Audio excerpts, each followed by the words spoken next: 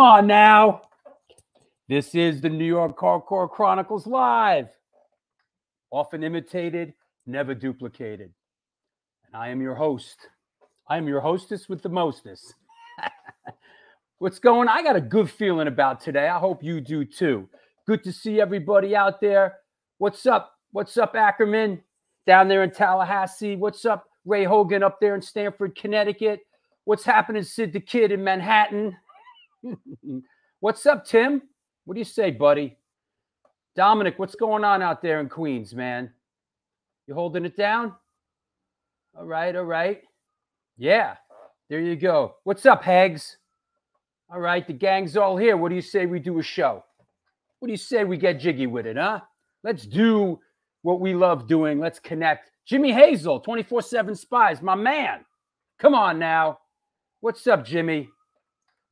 Getting ready for that show, Jimmy? Come on. Yeah. Yep, yep, yep. It's a yuppa. Where is, you know what? That reminds me quickly.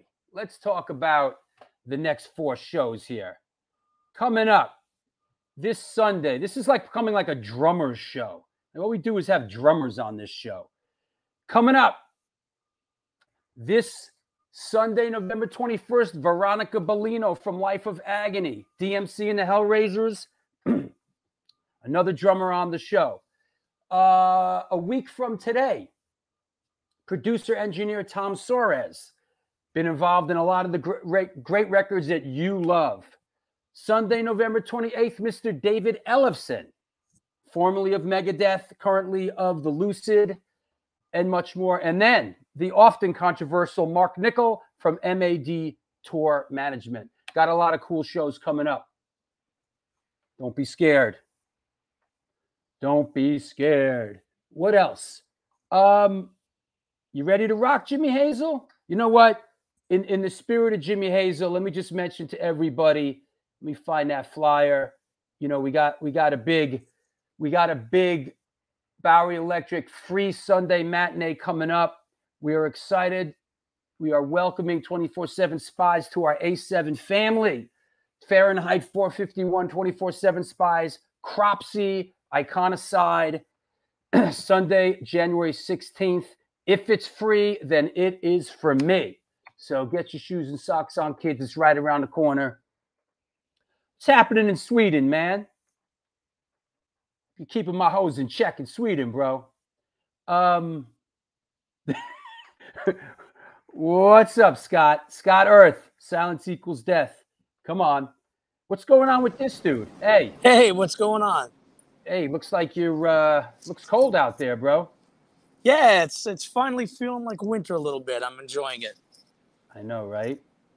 The uh I'm trying to get away from the noise. It's like every there's like a million airplanes taking off over there. Listen, we all have our crosses I'm, to bear. I'm going to stand bro. here by the grinding equipment.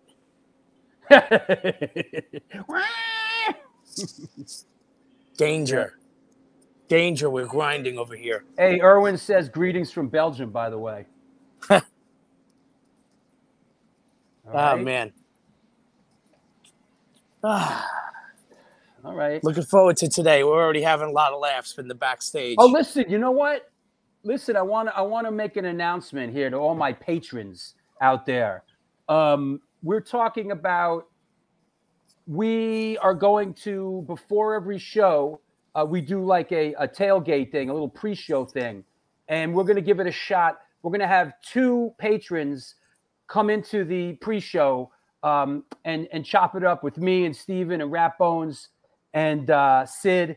So we're going to start getting that. Uh, we're going to start getting that rolling. So, you know, two people per show. Come hang out with us uh, as we get ready for the show. Might even be able to talk to our guest for the day.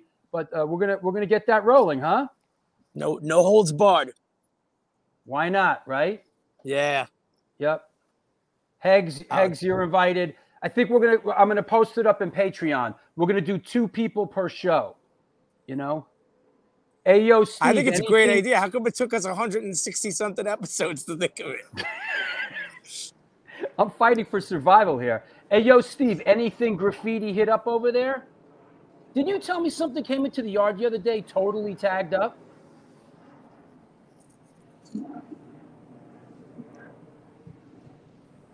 Any, do you hear me?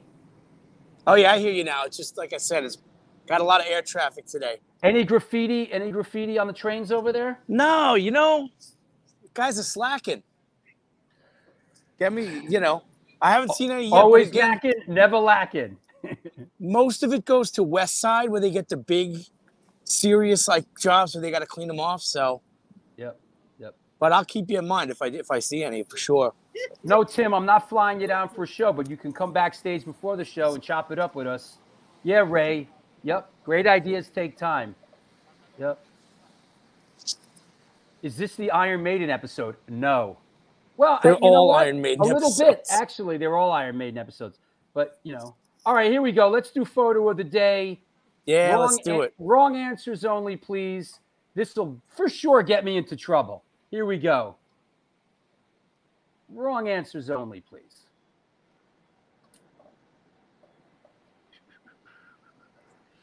Let's see Love what we got here. Is it? it's it's not. Is it Janis Joplin? That's a good one, actually. That's actually pretty. That's very good. Is it Janis Joplin? Is it Janis Joplin Caputo? Very good, Chris. Is it Lita Ford? Is it Alanis Morissette the Metal Years? Is it Taylor Swift? Is it ABBA? Isn't ABBA doing? Isn't ABBA back together and doing something? They just now? put their first album out in 40 years. Damn, somebody needs a, a couple bucks, huh? Is it Bruce? is it My Morning Jacket? Is it Bruce Dickinson? Is it David Lee Roth? Good one. Yes, ABBA is back. Is it Slaughter? Close. Yep. There you go. All right. Is it Edie Brickell? I once worked Uh. on an Edie. I, I worked on that Edie Brickell video Oh, which one?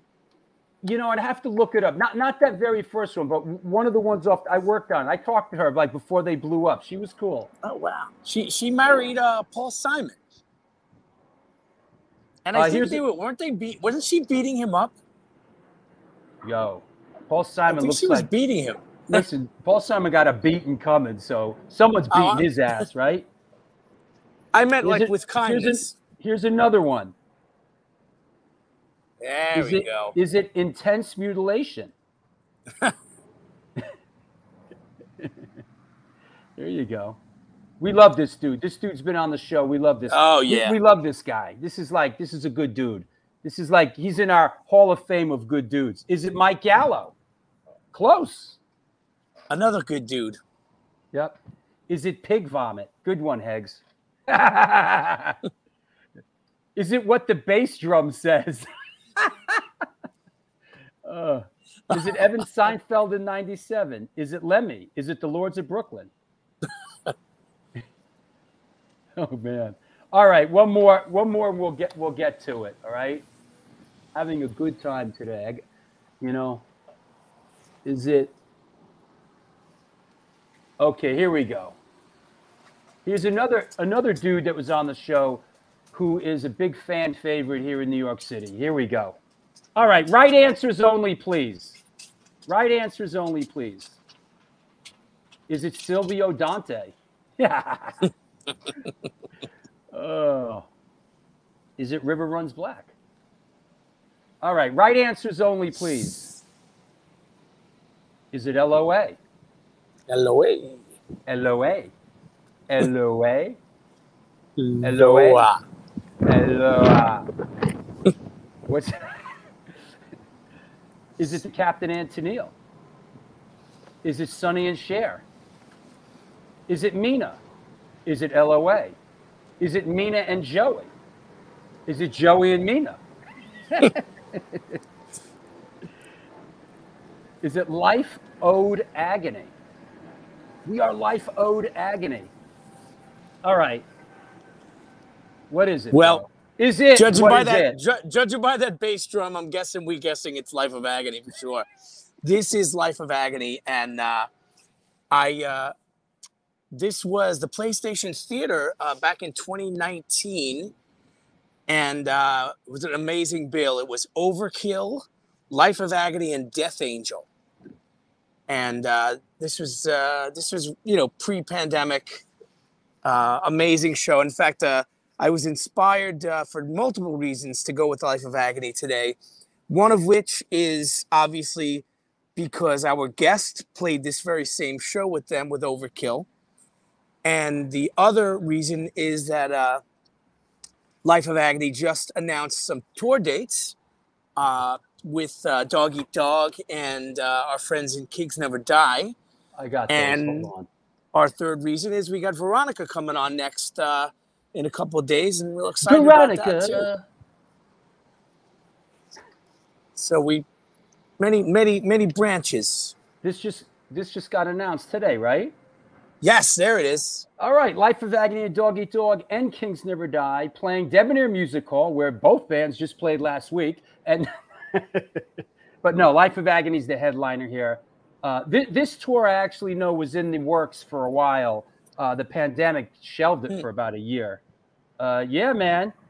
Yes, Looks- looks John. awesome. Look- They are playing. Yeah, they are playing in, in lovely Teaneck, New Jersey. Yes, I, uh, Thomas. It is 1984 again. All we need to do is get Biohazard on the bill. Yep. it- was it was anybody else at the Hey, Wes, what's up, brother? Never was anyone else at that Life- Life of Agony Dog Eat Dog show in '93 at L'Amour, Brooklyn? I didn't see that. I did Two see. nights. I do remember seeing Biohazard, Life of Agony, and Dog Eat Dog maybe out in Jersey. What was that place up the stairs in that ballroom? That place. That place. Oh, that place man. used to go off. Not City Gardens. What was the name of that place? I always forget the name of that place. Not Starland.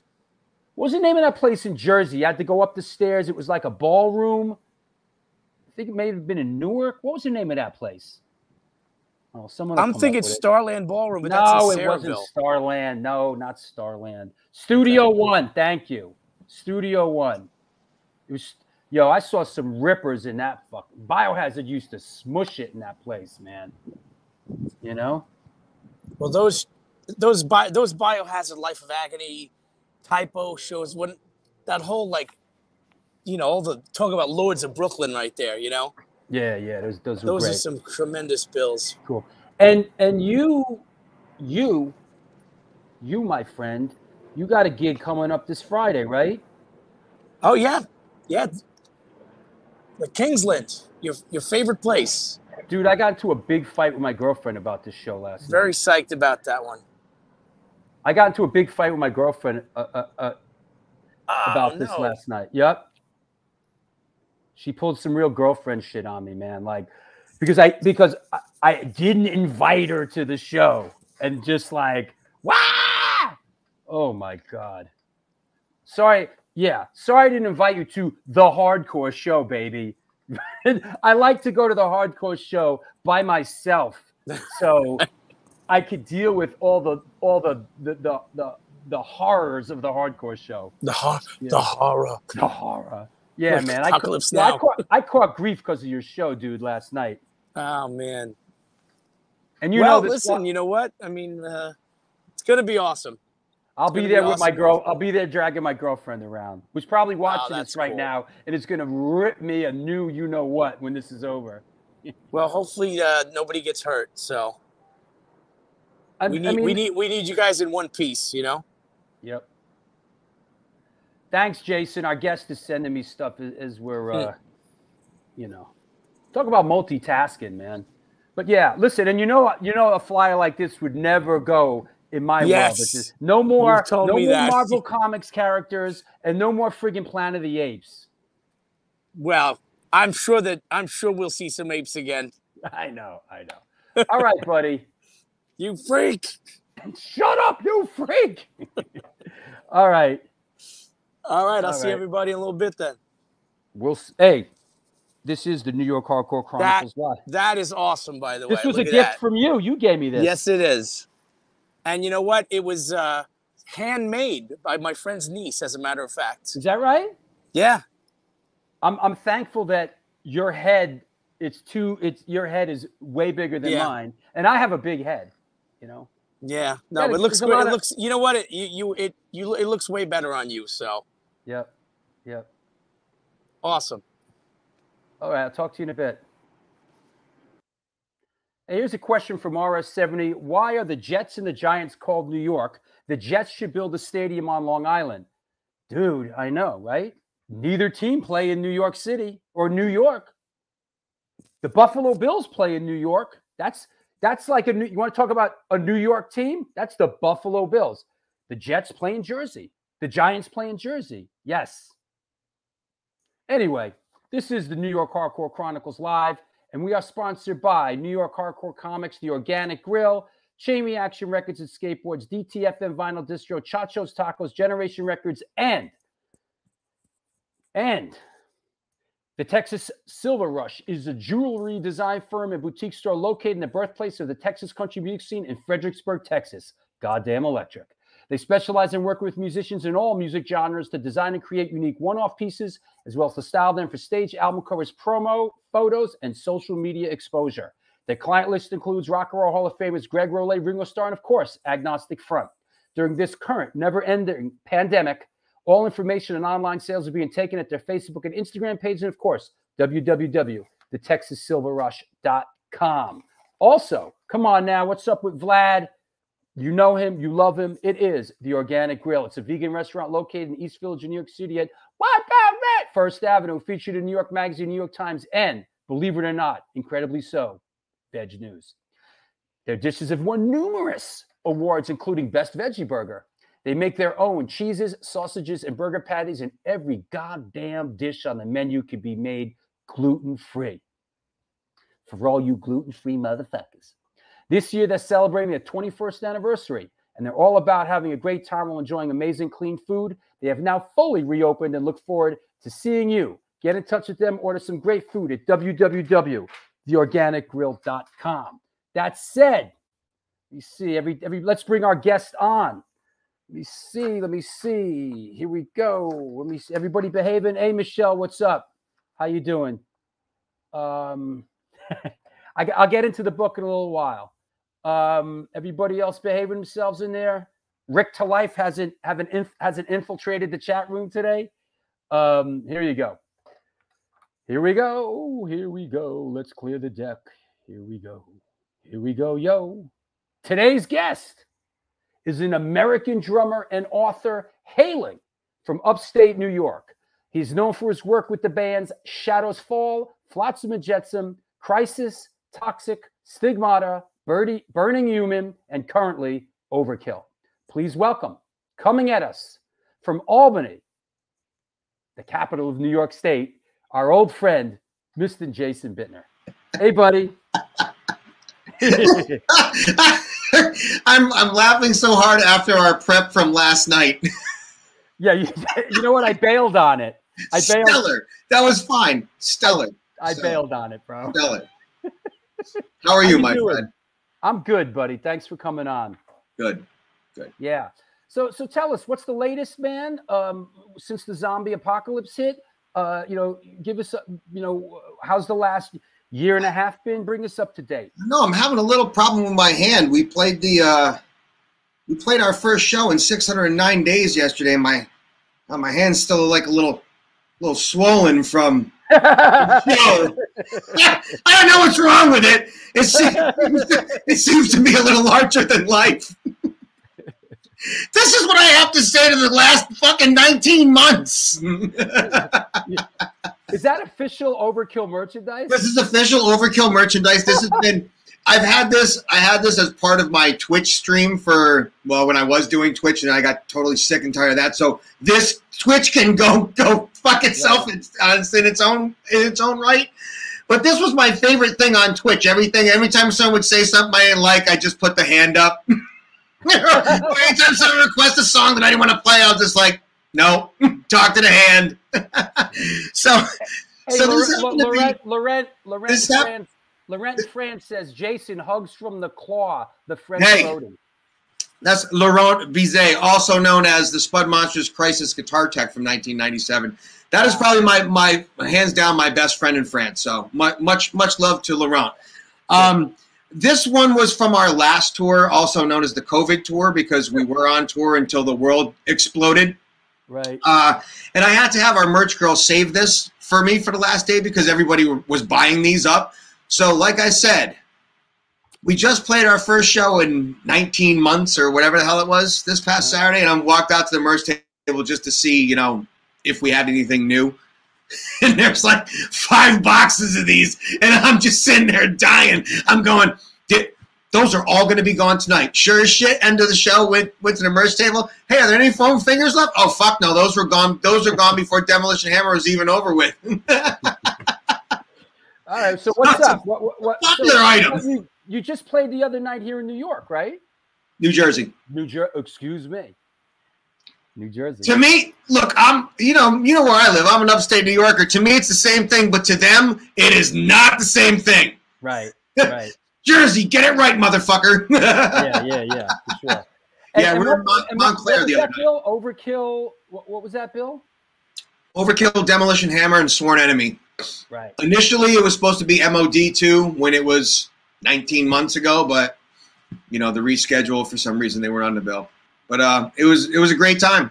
It was nice to nice to be back on the horse again. I was starting to forget what that was like. You didn't play out live at all before then. The only thing, the only things that I've done since the pandemic started, that we our tour got cut two days short. The Jersey show got cut off, and so did the Baltimore show. Mm-hmm. We were sent home. The whole pandemic went through.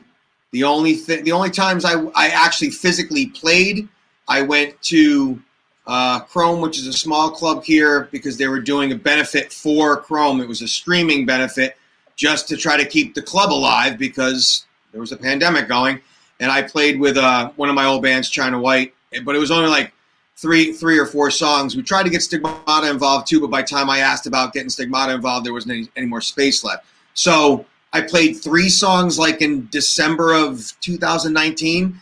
And aside from that, the only other time I played live was two Sundays ago, or two uh, two Saturdays ago rather, when I played with Dee with his other band. He has got he's got like a you know a swing rockabilly band, and we played in Jersey two weeks ago. But that was my first real show since then. Wow. And what's and and what isn't there some isn't there some hot news? Didn't didn't you guys just uh, with one of the bands? Isn't something going on? Giant reunion, December eighteenth. Shadows yeah. Fall. Finally. Yeah, huh? we had to postpone it two years in a row. We had uh we had the date set for for 2019. No, we had it set for 2020 before the pandemic started. And then, you know, by time by time the summer of, of 2020 rolled around, they they pulled the plug and they just said, you know, John Peters and the Palladium were were nice enough to hold the date another full year in hopes that we'd be able to do it this year.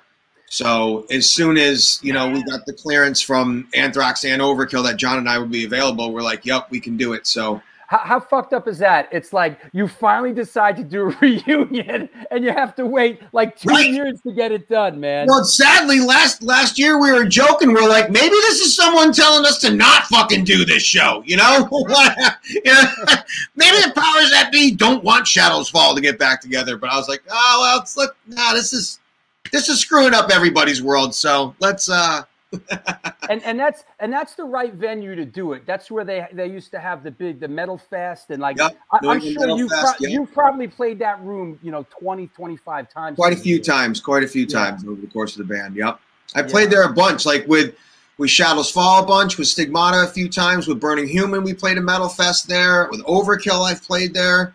Yep. Uh, I didn't play there with Flotsam, but um. Yep. But, yep. I saw I saw the Jerry Garcia band play there when it was the the Lowe's Orpheum in 1981. Woo! wow, crazy. Um, so tell us, how did you come up? Did you grow up in a musical household? Were you part of a musical family? Nope. I was the first one. Uh, I really don't know where it came from because uh, nobody, nobody in my family before me, aside from on either side, my father's or my mother's, was was any mu- musician, artist. I'm like, as far as I know, I'm the first ever wow. in the arts field. Um, but since then, like when my dad got remarried and had my uh, my younger brother and sister, Uh, my brother dabbled in drums for a little while, and my sister actually plays piano and is a, and is a really good singer. So I just kind of guess I I must have started everything. Uh, you know, I was just banging on pots and pans when I was a kid. You know, Kiss made me want to be in a band, uh, and I just you know I had toy drum sets. You know, all that crap. Like when when I was a kid, three, four, five, six years old, when I finally could take lessons in school, which was uh, third grade for drums. For some reason, you could start any other instrument like woodwinds, vi- violin, all the strings in second grade. But for our school system, drum wasn't drums wasn't, wasn't until third grade. So that's did, did, did your parents support you? Like, because like when I was a young kid, I asked my dad for drums, and it got shut down. Did your parents support you when you said I want? They play did. My parents, my parents, they did. But this is kind of funny because my my parents split when I was young. My parents split when I was between you know eight and ten, which is right when I started playing drums. And and um, even though my dad still lived close by, it wasn't like you know I didn't have any contact with my dad. But he, I didn't live with my dad. I lived with my mom, and I went weekends with my dad. But he was still close by. My dad bought me my first drum set, which now in hindsight ha ha ha i don't have to listen to it my ex-wife has to listen to it so sadly my mother put up with that god rest her soul for all those years but they were both they were both supportive like i said you know my dad's the one who bought me the first kit he built me uh, a rubber practice pad kit like even when i was a kid because that's what my teacher had and he was like and he was he was a you know he was a carpenter for all his life and he was like I can build that thing. He's like, that they want 500 bucks for that. He's like, I can build that with $50 That's worth awesome. of material. And he built the same damn thing that my drum teacher had. That's So awesome. they were they were both supportive, and and my mother to this day, you know, my mother had to listen to every single stigmata practice because it was right here in the same house when she was alive. So they were both very supportive. Yeah, that's you know, my dad tells me he's told me in like recently that he regrets he regrets not um, letting me follow my passion when I was a kid because I was really into drumming and they they you know it you know he says he regrets not letting me sort of I had a passion for something as a child and Yeah. You know but but you know things worked out for the most I- part but I think my dad was okay with it. I mean, I know he wanted me to play sports. I mean, I tried to play baseball. My dad wanted to be a ball player. You know, that's what he wanted to do when he was a kid. And he Uh-huh. got, you know, he was he was a pretty good baseball player, but I could never, you know, I could never, you know, couldn't hit the fastball. So, Yeah, you know, right. I, I, I tried for him, but like, you know, I did the whole little league thing. But by the time I got to Babe Ruth, I'm like, all right, I'm done. You know, I'm 15. I got a BMX bike. I'm racing bikes. You know, I'm I'm learning how to play. You know, YYZ from Rush. I got more to worry about than the stupid fastball. Yeah and, and when you get up to Babe Ruth and you can't hit the fastball Yeah, that's kind of it man That's that's the that's the sign. Yeah, this is, is. this is what I was. Throw Bittner out in left field when the when the when the team is winning. Put him in the fifth inning and let him play seventh, sixth, seventh, and eighth inning in right field. Hopefully, no one's going to hit the ball to him. right. And maybe he'll bat once, and maybe if he gets lucky, he'll put his hip into it in a way, and he'll get hit by the pitch. but if you put a set of drums in front of me, motherfucker, I'll play circles around everyone at this ball field. so who just throw a couple names out there when you were when you were a, a young person who who were the big drum influences that inspired you as a very young person Keith Moon, John Bonham, Stewart Copeland. okay now okay Keith Moon is the first- isn't Stu- Stewart Copeland's a lefty right No, no Phil Collins is a lefty. who's a lefty Phil Collins. ah right got it Keith Moon was the first guy that made me actually like pay attention to drums because my dad was a huge Who fan. So Right. I heard Who's Next all the time and won't get fooled again. I was like, this guy's killing the drums. I just thought it was just so cool. So that was my my first thing with that, and then um, I I heard Led Zeppelin at a real young age, and it was just something about Bonzo's drums and his the sound of his drums that that's what what made me gravitate to that because no one to, to my young ears nobody had hit the drums like that guy was hit the way the same that guy was hitting the drums so Yeah. that was number two influence and then as soon as mtv hit even though i saw iron maiden the first day it still took a few years before that kind of influence came into my drumming i was huge into the police because you couldn't you couldn't have mtv on and literally not see one of the videos from uh, the Ghost in the Machine album like every Yeah. two minutes on there. Sure, for sure. So- Absolutely. They were So used- much that I have a you know Midnight Blue Stewart Copeland replica drum set downstairs in my basement, Got it. Got it. and a Now- Bonzo and a Bonzo Vistalite kit, and two Neil Peart kits too. Are you a hoarder of drum kits? Is there I sort of am. I I real I really does am. such thing exist? Like for drummers? Yes. Like yeah. Yes, and and two of the most guilty parties are me and John Tempesta. Uh, we're both of us are very bad. we we compare. There was one day that we were, and Charlie Benante tells us this all the time. He's like, "You two have fucking serious problems." Like, he's like, "I've got like two drum sets and like three snare drums, and, and me and John are sending lists of like 40, 50 snare drums." I think I think he has he has more physical snare drums than I do, but I think I have more kits than he does. It's it's ridiculous. But Listen, in the last in the last few years, I have to admit I've bought a lot of shit online because in the last few years, sadly, some of this stuff is better than than investing in the stock market. I know what's rare. I know what I can get. If I know if I can buy something for three hundred dollars and flip it for a thousand, I'm going to buy it.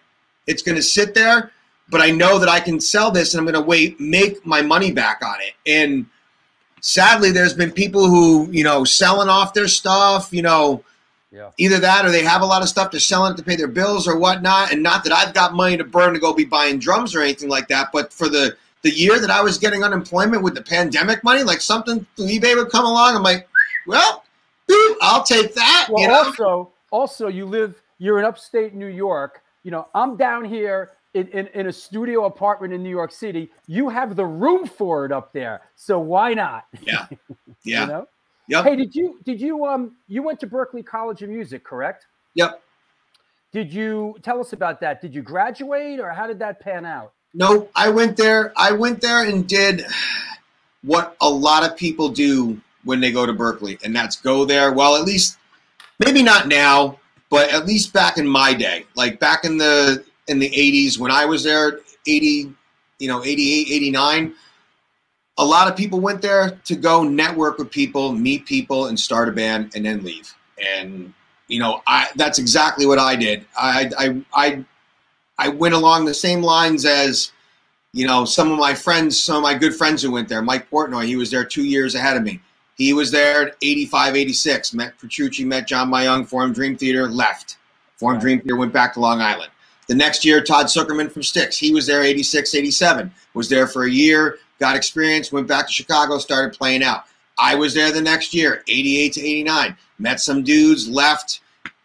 Was going to start going to start a band. Stayed there for a year, learned how to play some different styles of music. Left and and went and did my thing. I wanted to play in, in a band. Berklee Yeah. can't teach you how to be in a band. Berklee can teach you a lot about music, but Berklee's not going to teach you how to get in a van with four other guys and travel around the world. It's just not. Sure. You have to go out there and do it.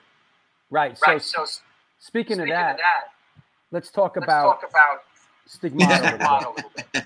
Outside Dan Walsh's apartment, Great. when Mike had blonde hair, that's prob that's probably the first stigmata uh, press photo that I'm in with my bangs. Yeah. I still wish I had that fucking jacket, man. That was the coolest. I, that fucking that the jacket I'm wearing is is an embroidered like Dickies light jacket, and Mike had like the only one, and I liked it so much, and he let me like after I begged him all the time, I'm like, well, just get one made for me. He finally gave me his gave me the jacket. Look, he's chiming in. Look, he's chiming in. Oh God, because he knows how ridiculous he looks with that blonde hair, don't you, Mike? Call a motherfucker once, will you? Oh, Jesus, I missed you there, pal. All right. So, anyways, Yo, Riley Mikey- looks hard. Riley looks hard in this photo. he certainly does.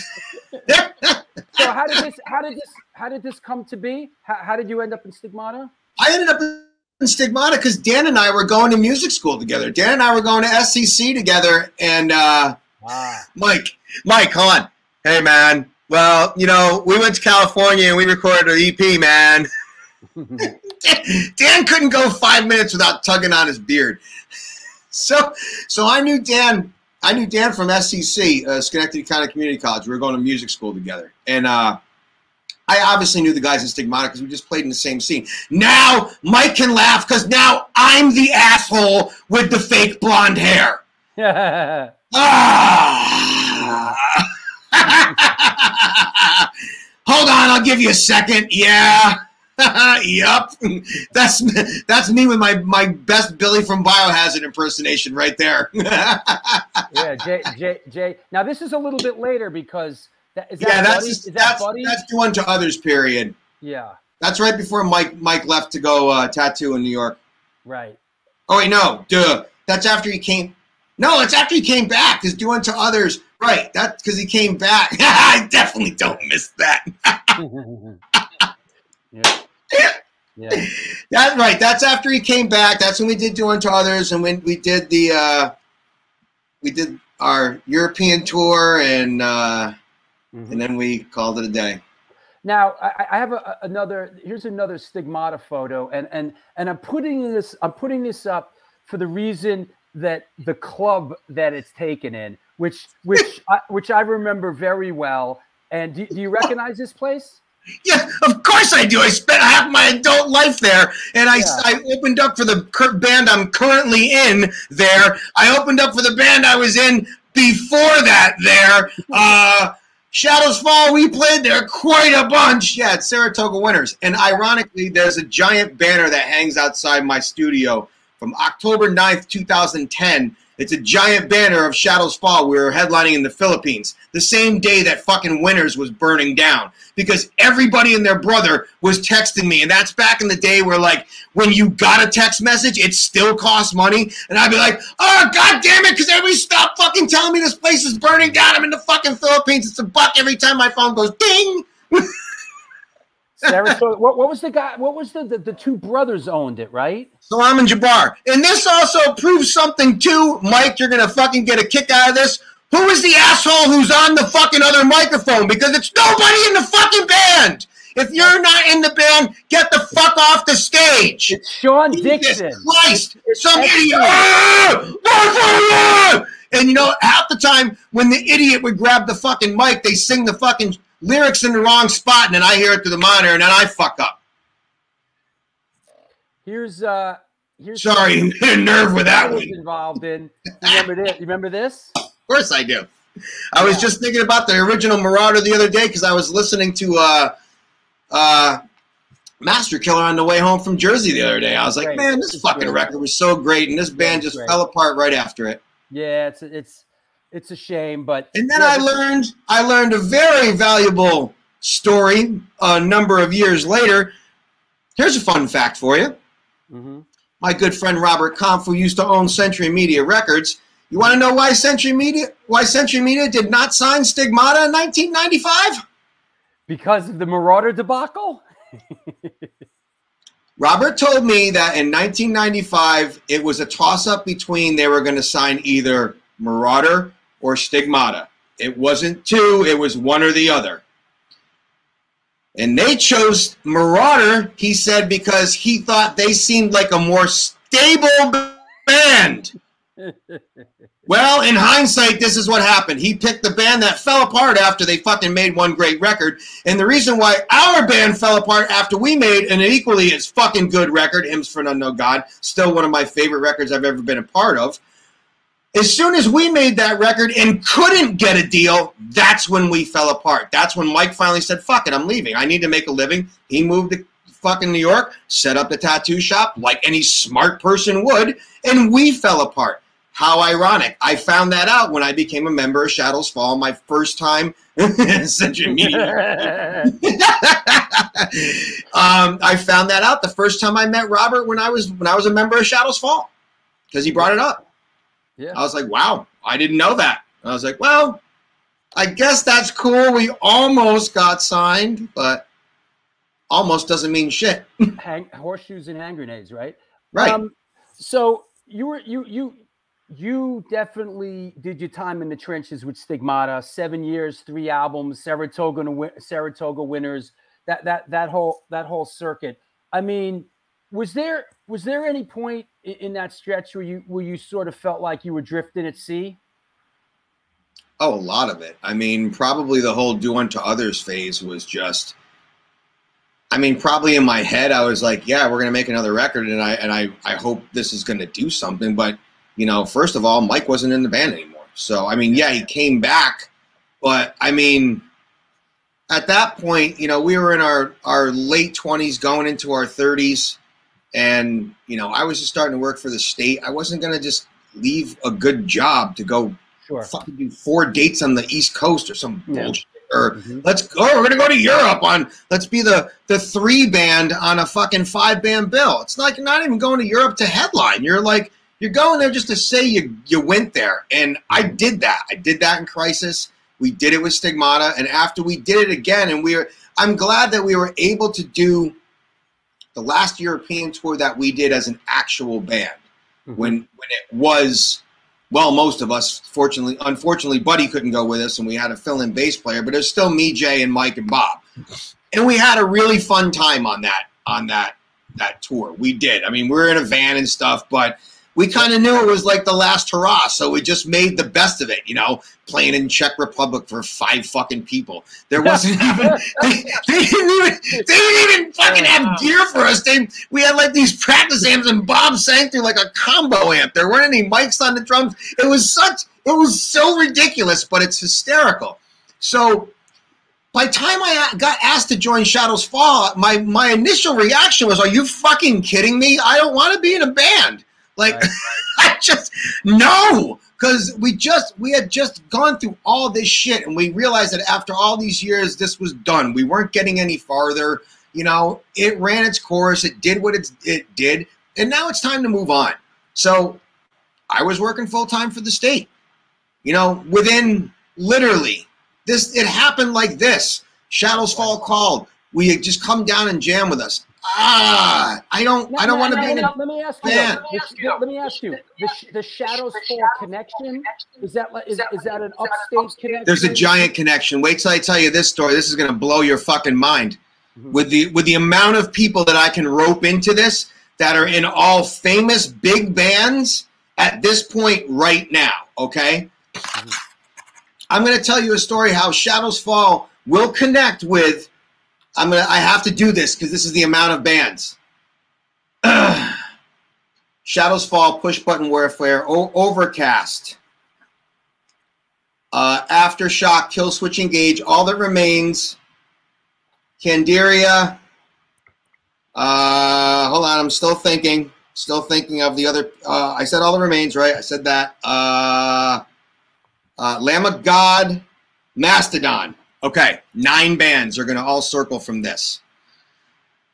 Shadows Fall used to play shows with Overcast. Anybody know who was in Overcast? Brian Fair from Shadows Fall, Mike D from Killswitch Engage. Okay, mm-hmm. that's the first connection with this band. Out of Shadows Fall came Burning Human with me and Jay and some of and and Jay Vandervoort and Jonah, who you, were basically like guys who used to help us with our gear. Burning Human used to play shows with Push Button Warfare, a band from Massachusetts that contained Paul Romanko, the bass player from Shadows Fall, and Zeus, the producer. Yes, the guy that produced all the Shadows Fall records, and the guy that pretty much is Rob Zombie's personal producer right now. They were both in that band. Wow. Okay. I left Stigmata to go to Crisis. Oh, I left out Spud Monsters and Biohazard too. Forgot them too. Who then went on the first European tour with the Spud Monsters with Scott Roberts, who would then join Biohazard later on. Blah, blah, in blah. In that time, I tried out for Pro-Pain. They didn't, didn't take me. They took Dave Chavarri because they knew him better. In that period, too, in 1995, I was supposed to try out for Machine Head, too. They didn't take me because they knew Dave McClain. Yes, Rob Flynn will back that story up. This is all 1995. We haven't even got to 96, 97. So I joined I joined Crisis. I do a year of Crisis. I come back. I do Burning Human and Stigmata again. Stigmata finally does its thing. One of the last shows we played was opening for Shadows Fall at Pearl Street for the Of One Blood CD release party. Now, at that point, Shadows Fall was Brian on vocals, John and Matt playing guitar, Paul on bass, and David Germain was the drummer. Stigmata was the opening, was the was a direct support band. I remember. So now I go, oh, Shadows Fall. I remember this band. This is this is that band that Scott Lee told me about, and this is the they they got a different singer. I'm, I'm like, that's the guy who was in who used to be in Overcast. But when I saw Shadows Fall the first time, they didn't have that guy singing. They had this other guy. The other guy was Phil, who Mhm. later became in All the Remains, performed All the Remains. So a year before this show, like the last, some of my last shows at with Crisis, this is where the story really gets funny. Crisis plays a show at the Espresso Bar in Worcester, Massachusetts. The Okay. espresso bar, huh? Yep. In Worcester, Mass. echo? that echo? Is there a, is there a second? Is there a Do you have a second You have a device second open device over there? open Your over phone or something? Nope. It's weird Weird echo. Echo. Let me check the audio, but to my knowledge, That's all right. no. We'll, we'll go with it. I have echo cancellation on. Even All right. No problem. so. Come back. Oh yeah, yeah. Hold on. all right. It's a good thing I know how to stream. Uh, so Crisis plays a show at the Espresso Bar. The opening band was Shadows Fall with Phil singing. I never realized this when I played the show because we were headlining and I was either in the van, probably, I was probably in the van warming up in my practice pad because there was nowhere else to go. I only found this out like literally like recently, like within the last few few months. I was talking to Afzaal. He goes, "You know that Shadows Fall was the opening band with one of those times we played the Espresso Bar." I went, "Bullshit." He goes, "Yeah." I go, "Really?" So I, then I go down this wormhole of the Espresso Bar and I find all these old poster, uh, all these old ads on on online, right? So lo and behold, I pull up a show that's Crisis, and the headlining band is Overcast. And I'm talking to Scott Lee a few weeks ago because we're talking about it is this is total history lesson. So we're talking about the Shadows Fall show, and I go, "Hey, I got I just got this video. It's it's Crisis. Remember when we booked Crisis at the Espresso Bar when we were open for Overcast?" He goes, "Dude," he goes, "You know what else happened that night?" I go, "No." He goes, "John and Matt and Paul were there too." I go, "What?" He goes, "Yeah, because that's the night that they came to ask Brian to be in Shadows Fall." I go, "So you're telling me on this night that the core five members that everybody knows from Shadows Fall was in the same building. He goes, You're all in the same fucking room. I go, That's fucking crazy. And he goes, And you know who else was there that night? And Afzaal put the icing on the cake. He goes, You know who else was there that night? I go, Who? He goes, Brann and Bill from Mastodon. I go, What are you talking about? He goes, They were in Today's the Day and they came up to see us play just to hang out. I went, You're fucking kidding me. So these guys that you know, like Shadows Fall and Mastodon toured together so many times, and we had such great times with those guys. And I'm like, wow, I always thought that the first time I met those guys was 2002 at South by Southwest when I was in Shadows Fall, but you know, I guess I didn't. So, so you so you joined Shadows Fall, and did did did that roller coaster ride start right away? Like as soon Yep. as you joined? Yep. My my mom passed away in in in August of 2021 uh, or 2001. No, 2002. I'm, I no 2001. I'm sorry. I can't keep my years together anymore with this fucking pandemic. It was 20 years this year. My mom passed away in 2001 in August. The last Stigmata show was Black Friday, November of 2001. My first show with Shadows Fall was December 27th, 2021. I was literally live with Shadows Fall six weeks later. Before I could even get out of Stigmata, I was already in Shadows Fall when I said I wasn't going to join another band. But when I went, they they asked me. I said no. I said I wasn't interested in trying out. Uh, This like, like about a month prior to the last Stigmata show. I said, my mom just died. My head's not there. I, I got a good job. I you know 31. I'm done. And then five weeks later, they called again. They're like, well, you know, would it just hurt to just come down and jam? Because in that time, they thought they had a drummer. Here's another interesting twist and turn. Derek Kerswill from Seemless was filling in, but at the time, they were still auditioning other guys. One of the other guys they auditioned was the guy I sent you of the picture of earlier, where you said, Who is this guy? And I went, How does Drew not recognize this guy of all dudes? It was Matty Byrne from Hatebreed. He got the job and he was going to join, but then Jamie called him to join Hatebreed, so he took the Hatebreed job. So then once again, Shadows Fall had no guy. They called me again. That's Really? us. T- that's you us guys, you guys have no hair. I know. That's because I was growing mine back out, and Matt just shaves his, yeah. and he always has a hat on. But that was that was like Shadows Fall, Hatebreed, Six Feet Under, 2002. Wow. the Rise of Brutality tour. That's in uh that's in Allentown or State College, Pennsylvania. That dressing room. The reason why I remember that is that dressing room. Everything in that dressing room, the the, the theme is ham. So everybody just writes everything and they put ham in it. So if you're you're tagging your band, we would be Hamada or Stig Ham, Burning Ham, you know, Shadows, Shadows Ham. Ham. So of course, Hatebreed was Ham Breed. So. Wow. So, anyways, they thought they were going to have Matty Byrne, but then he decided to say no and join Hatebreed. So they called me again. I went down. I played the first first five tunes off the, that record with those guys, and I never left. I And- saw Shooting Star on the way home, then I was convinced that it was my mother telling me that this is my last shot at this, so take it. Good for you, buddy. that was it. That's, that, that's awesome. And this is the and this is the record that you that, and this is the first re- Shadows Fall record that you play on, correct? Yep, I recorded that record maybe two months after joining the band. Like literally, I joined the band so they would be able to do a six week tour with Kittie in Europe because they'd never gone to Europe before. But I'd gone to Europe Ah. numerous times with Crisis and, and Stigmata. So, but I said for you guys, it's crucial because you want to, you know, you want to get your band name spread to, you know, overseas. So. The initial idea was I was just going to take the time off from work and just fill in and do the tour with them, but I changed my mind the day we were leaving. I literally, I literally was gonna wait to the end of the tour before I made any decision. And after we had like two beers in the bar next to our manager's place, I was like, ah, fuck it, I'll be in the band one last time, whatever. What could happen? Thank God I did. That's that's great. Um, now this, where am I? Uh, what's what's the what's the record I'm looking for? Yeah, the War Within. That's, Um, that's the this- next one. that's the next one, and this one really. That's the one that made me basically. Yeah, and this and there was a song off this that was nominated for a Grammy. Uh, thi- this record really put Shadows Fall on the map. Tell us about it. It did. Um, this is this is the record. The Art of Balance. See, the band the band was already was made a, a a small a small dent in the metal world with Of One Blood. So they had already had a they already had a lot of U.S. touring behind them, and they were starting to make a a, a, a splash here. Like all these bands, them, God forbid, Unearth, Lamb of God, Killswitch, they were all in the infancy stages. You know, we were all just baby bands at that time.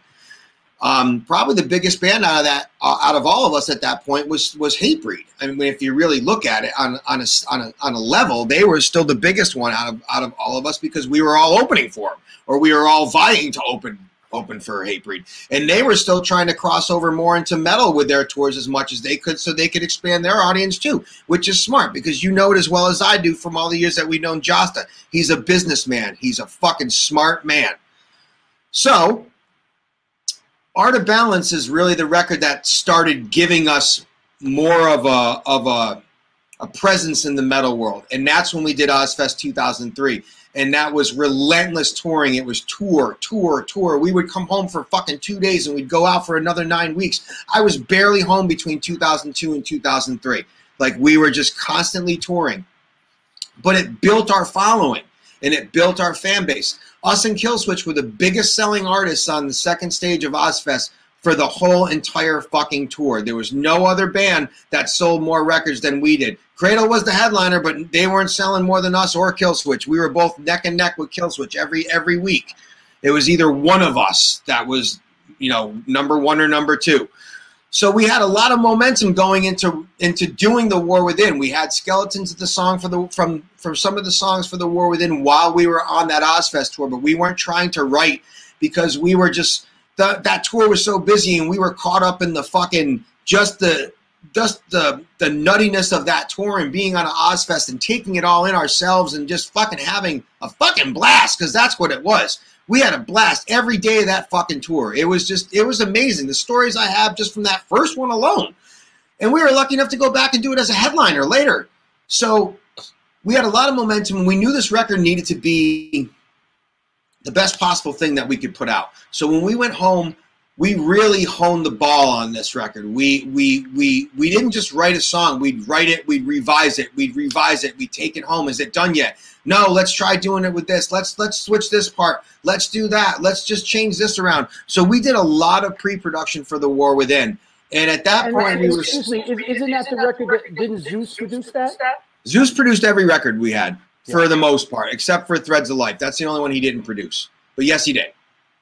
Um, he did Of One Blood, he did Art of Balance, and now he's on We're Within where where we are right now.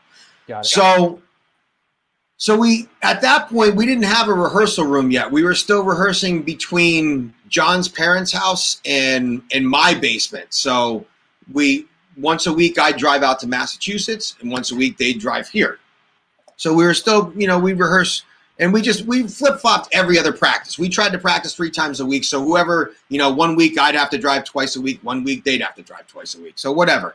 But we put the time in and we split it up so it wouldn't be so monotonous and it always just be me driving out there. So we really worked hard at these songs. We did pre-production. We recorded everything first. We sat back and listened to it. We let the label hear. Is there anything? Everybody liked everything. Okay, now let's get this done. We went in. We recorded it for real. I put a lot of time into my tracks. I wanted to make sure everything was as perfect. I could. Well, not perfect because nothing's perfect but as good as I could possibly make it. I knew this was going to be my pinnacle, and that's that's what I wanted. So I never knew when I was making that album. I never had any idea the inkling of of the impact it was going to make at that point in metal. Um, I mean, it was a big album for us. It was our first Grammy nomination. Uh, it's almost a gold record. Still to this day, it's still not gold yet. It's like 450, something like that. And gold is 500,000. Right there. Yeah, it's right there. And you know it'll go gold when we're all fucking dead. But whatever, it's close. no, No, no, no, no, it'll go it'll gold now that you guys are getting back together to play a show. Well, you never know. People still don't buy albums, but still, my point was, if this was back in the day, it would have been gold. But anyways, uh, I have a I have a half gold plaque that Century Media made for us. So, anyways, um, it was it it sold a lot of records. Guitar Hero took the light that blinds, and that was just like a giant song for us because it was in Guitar Hero. So all the kids knew that song. So that was a giant song for us really helped in that song. There's a lot of drums going on in that song. That year, that was the second year that I won number one metal drummer. That was the second, uh, no, it was the first year I won number one metal drummer. And I won two years in a row. I won 2005 and 2006 with the Modern Drummer you, did you win best recorded performance uh, Uh, that's what I'm getting to. But Yeah. even though that's that's awesome to win number one metal drummer, like that's you know your peers and fans voting you, you know, that they think that your stuff's really cool at that point. Oh, it's just a popularity contest. Doesn't mean I'm the best drummer in metal. That's Just right. means that some of those people think at that But point. in to, time- but to get recognized by your was. peers. But right, exactly. But like I said, the medal the medal award was great, but the best recorded performance, that one is that's the one for me. And That's and cool. and that's exactly what Mike Portnoy said to me because when I won, Mike called me up because I'm I'm really good friends with Mike and I've I've looked to Mike a lot of times over the course of my my career for for advice and stuff on various things and he and he just he called me after that he goes dude he goes I think it's awesome that you won number one medal because you deserve that but best recorded performance he goes that's a fucking that's a that's the top one man he goes that means that the that other people are listening to you Yeah. too he goes so be proud of that one and I was like That's I am awesome. and, That's and that was Good that was you. cool and and then then we continued on with that was our record that got us our first Grammy nomination so Cool. Hey, was- um, let it was a me uh, let me shout out some sponsors. Let's take a minute. Uh, let me do a couple things. I- i- If uh, if you got to uh, you know go get something to eat or go to the bathroom, and we'll, we will continue in about ten minutes. Okay. mhm. Well, there you have it. This is the New York Hardcore Chronicles Live, and our guest today is our old friend Jason Bittner from Shadows Fall, Overkill, Stigmata, Flotsam and Jetsam. We are sponsored by a couple of people, including Generation Records. Since 1992, Generation Records has been a mainstay of the New York metropolitan area music scene. Today, they offer a diverse selection of new and used rock, jazz, indie, hip hop, punk, hardcore, metal, blues, soundtrack, and reggae LPs, as well as t shirts, posters, and other merchandise. They buy used record collections and music memorabilia and will pay you top dollar for them. House calls made for large collections in the tri state area. Call or email generationrecords at gmail.com and follow them on Facebook and on Instagram. Also, lest we forget, DTFM Vinyl Distro is a record store that specializes in underground music, not above ground, but underground. Punk, ska, hardcore metal, and more. Located in the heart of Fargo, North Dakota's industrial district, where it's probably friggin' freezing right now. Shop in person or online at www.dtfmvinyldistro.com, where the motto is death to false metal. Yeah, listen, I know what you're thinking right now. I'm thinking the same thing. What about this dude? Rackbone! Rackbone! Rackbone! Rackbone! Rackbone! Rackbone! Yo, what I what up? What up, everybody? I was all set up before, and then you got so excited for your guest, you kind of. But let's uh bridge it. I have a really good bridge. It's all Bridge it. metal. It's Take it all the what I got, you know. Go ahead. Uh, I want to start. I always start off with the biggest thing last, and I'm going to do the coolest thing first today. I just got this sheet of uh wacky pack stickers, bro. It's pretty cool to get them, you know, some faves on there. And this is series one uncut sheet, right? wow. Dude, Super I used to love those things, Yeah. man. Dude, I let hold on, let me look. Let me see. Yeah, camels, girl, girl, yeah, crust toothpaste, dampers. Dude, th- those that that's the classic series Yeah. right look there. at this one. Dutch boy. Bit bit yeah. Bit o money. Yeah, that's cool. And when you get the uncut card, it's got the back, the puzzles on it, you know, and the, the Yep. series sheets. So yeah, I score that. That's why I love the city. You know, you score these weird little things. But uh, you know, I want to just say uh, we had such a good time up at uh, Dobbs Ferry. Shout out to New York Hardcore Comics. You know, we went up there. I just want to show a couple things I got. They just got a fresh batch of tapes in, and I scored some metal tapes, some Scorpions in Trance. Great record. One Hey, of my, I- I- uh, thank Oh, you for thank you for playing the Drew Stone role, dude. I was holding it down for you. Thank you, bro. That was Yo, a great was- event. Success, you know. I mean, comic book stores are a cool place. You know, we had a lot of fun, and uh, th- this other is one of my favorite Scorpions records of all time. It's a little hippie-ish, but that's that? like this Which one is that? fly to the rainbow. I don't know that one. Oh, this is right after Lonesome Crow. This is like when they were at the pinnacle to me. It's kind of like Judas Priest Sad Wings of Destiny Like that record's kind of hippie-ish, but it's so cool. And then I got this classic banger Yeah, on uh, cassette. Lee and Debo up at Dobbs Ferry, New York Hardcore Comics. Thank you guys. And then the banger of that whole like when this tape was out, everybody had the yellow tape. And I seen a red one in other people's collection, but I think that the green one was, you know, we used to call the yellow one the banana tape, right? The banana ba- put the banana bad brains in. I had a yellow one. Yeah, the banana tape. And then uh, I just want to show a couple. Oh, one other thing. When I go to a comic book store, I always do this one move where I'm like, "Where's the cheap dollar bin?" Because you dig in the bottom. And uh, for only five bucks, I got me a uh, Return of the Jedi Gamorrean Guard. You know, for five bucks, that's a steal. He doesn't have. Hey, what's that Godzilla thing behind you? Oh yeah, let me thank uh Steven Messina, my homeboy. We had such a good time, bringing each other gifts and whatnot, right? Killer shirt he gave me. Killer Godzilla versus the Wow, that's a that's pretty cool. There. I ain't mad at that, right?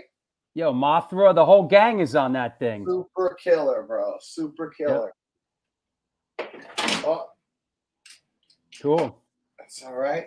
All right. And then I just want to give one last shout out out the door to my man at Clockwork Records. We stopped by there. Thank Hey, you. Hey, did you find man. something in one of those cassettes?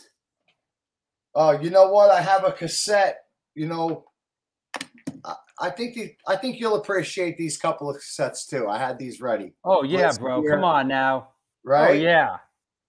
Phil Caivano, uh, we had him on the show. you know, I got this crane. I don't know what's really good. I don't know every single band out there, but then I've seen someone else posting that they had a bunch of this band's records and the demo, right? Bone Crusher demo from 90. hmm And then this weird, I had this one in uh in this Angry Youth demo. There was this uh you know, sometimes you find wacky stuff when you're a young teenager, right? You hid stuff in the cassette, and I found this. I don't know if we should, you know, we're kind of dry snitching on ourselves right now.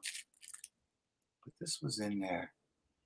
It looks like a brown hit of acid to me. Is that a hit of acid? Yeah, man. And, and cigarettes were only two ten a pack because it's in the Oh, it was in that wrapper? Yeah, Dude, don't eat the brown acid, bro. Yeah, that's funny. We were just talking about that. Imagine that. Imagine if you if you took that, it's probably 30 years old. You probably like go Oh, insane and like You know, kill your wife and kid. Don't take it, bro. All right. So I do got to give the shout out. and I got to get some Iron Maiden in on the show before we go. I did Mm. buy a first pressing of the Iron Maiden's first record up at uh, Clockwork Records from my man Mike. You know, we had a All great right. weekend and uh, got some cool shit. And that was the collectible of the day, folks. All right, And, uh, buddy. Well Jason's done. Great, man. Jason's a real live wire, man. Keep it going, you know? Thank you, buddy. I'll talk to you soon. Yep. Later, guys. Ratbones! Ratbones! Ratbones! Ratbones! Ratbones! Ratbones! Yo, Rat Bones found acid in the cassette that he bought at New York Hardcore Comics in the dollar bin. Crazy. Yep. That said, let's bring our guest back on. Let me clear the deck. Um, hold on. Clear the deck. Let's bring Mr. Jason Bittner back on. Hey, buddy. Hi there. Were you texting your upstate people? I'm texting Brian Fair because he loves Rat Bones. Listen, Rappos is a mixed blessing, you know. he's he's he's good, man. Um, he, He wants to get Maiden on the show. Show that one of those other pictures I sent you. I'll tell you Maiden stories for days. yeah. We, we don't we don't need to go deep into maiden stories, but I do want to show this picture. You see this We, go, we, can, we can go. See We can go. Rappos? We can go deep into one of my biggest idols, who's one of my dearest friends. Yeah, tell us about it. I still can't believe that. I met I met Nicko McBrain the first time in uh that's him get the backstory on this fucking picture is so funny. It also brings back in Brann from Mastodon.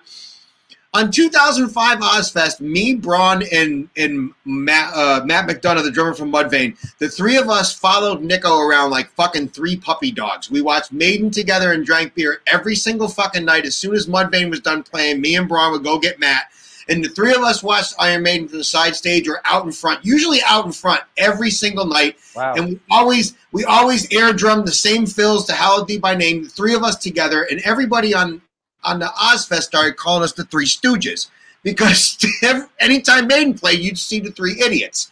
So at one point, Nicko was putting out the signature ride cymbal, maybe the year after, right?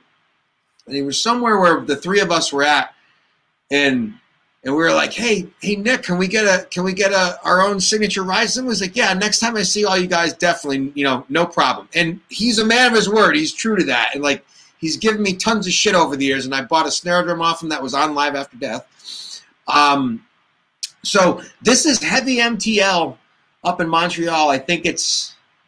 ah, Is that shit, Ozzfest 2005? no, this is after Ozzfest 2005. Because Ozzfest 2005 was where we all became friends. Ah, where we all became the Three Stooges. This is like four years later. I want to say it's 2008, 2009, right? This is me holding the cymbal. Okay, we're turned around right now. We're turned around, so we could. So Brann is playing. Brann is on stage playing right now. Brann looks over and he sees Nicko walk up with this cymbal and hand it to me. And Brann knows what's going on. He's going. He looks over and he's like, and he looks at me and he mouths the words, "You motherfucker," because he knows what's happening. He knows that Nicko's giving me the ride cymbal right now, and Brann hasn't received his yet. So this is the two of us. We turned around so my wife could take a picture of the two of us holding the cymbal, so Brann could look right at us as we were doing it.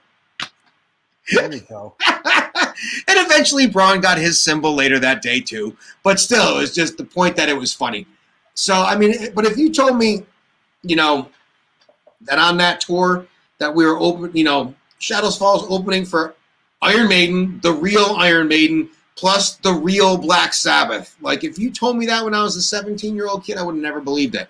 And the fact that you know to this day we we you know we're we're pretty close. We had a we used to have a place down in Florida for a little while. We had a condo down there too for about 10 years.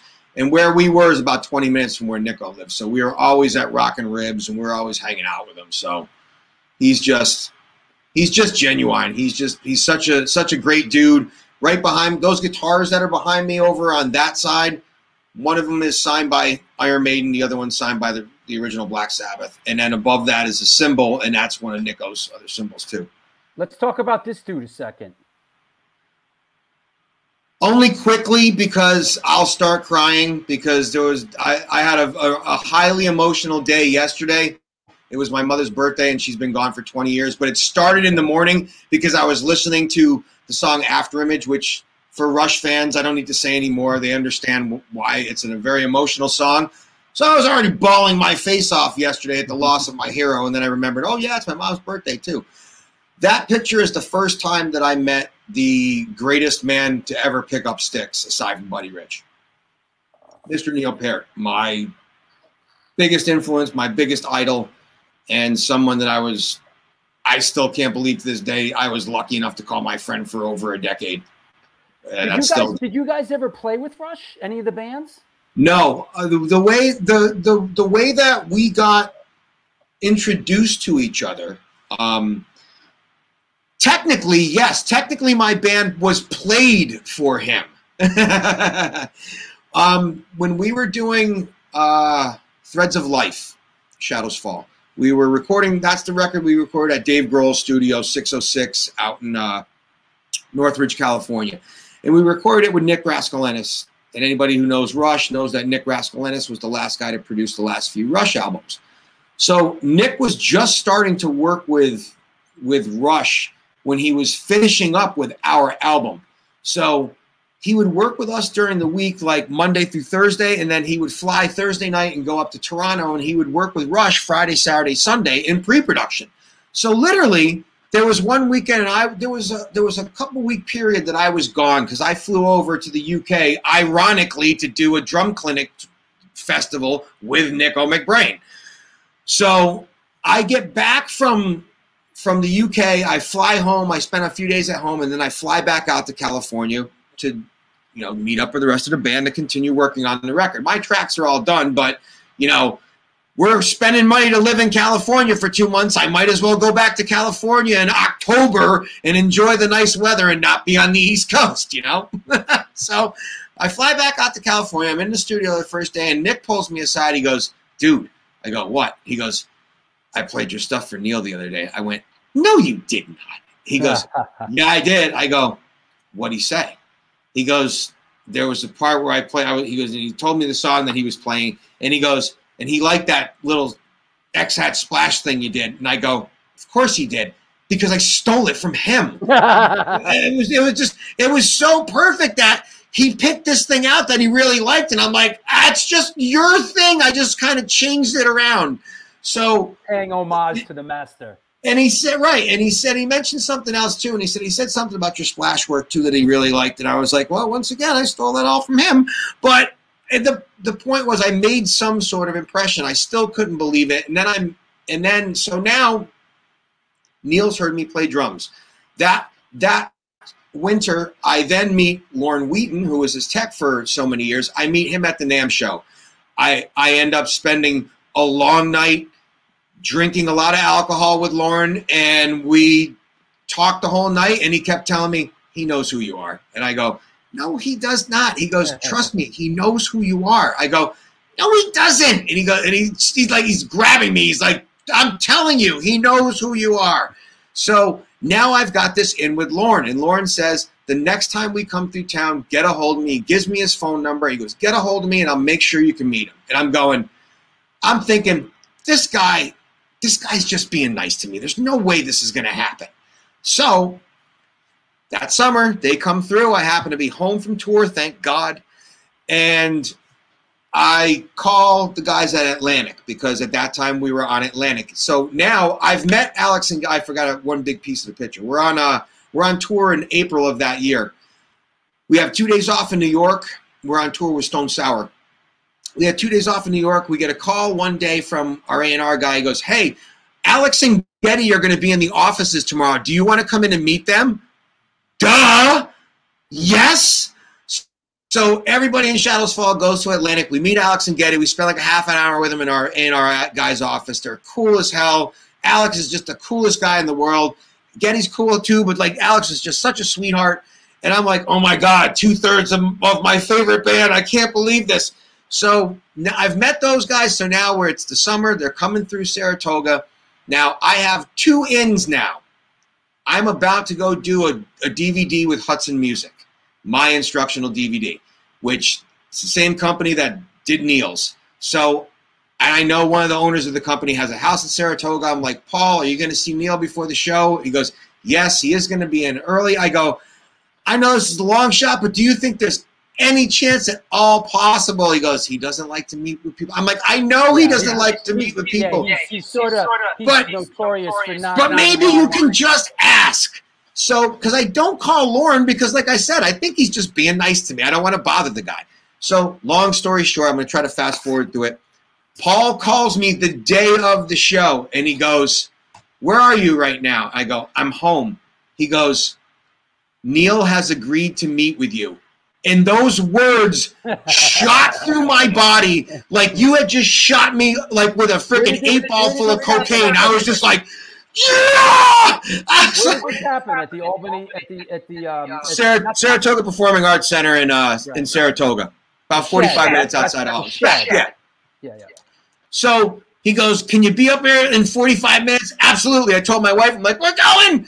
I, like we race up the SPAC. I'm on the phone with Portnoy there. He goes, "Whatever you do, don't talk about drums with him." I'm like, "I know, I know. You don't bring up drums unless he brings up drums." So we meet. I'm going to try to fast forward. We meet him. He's the absolute coolest person in the world. It's the greatest 15 minutes of my life aside from getting married.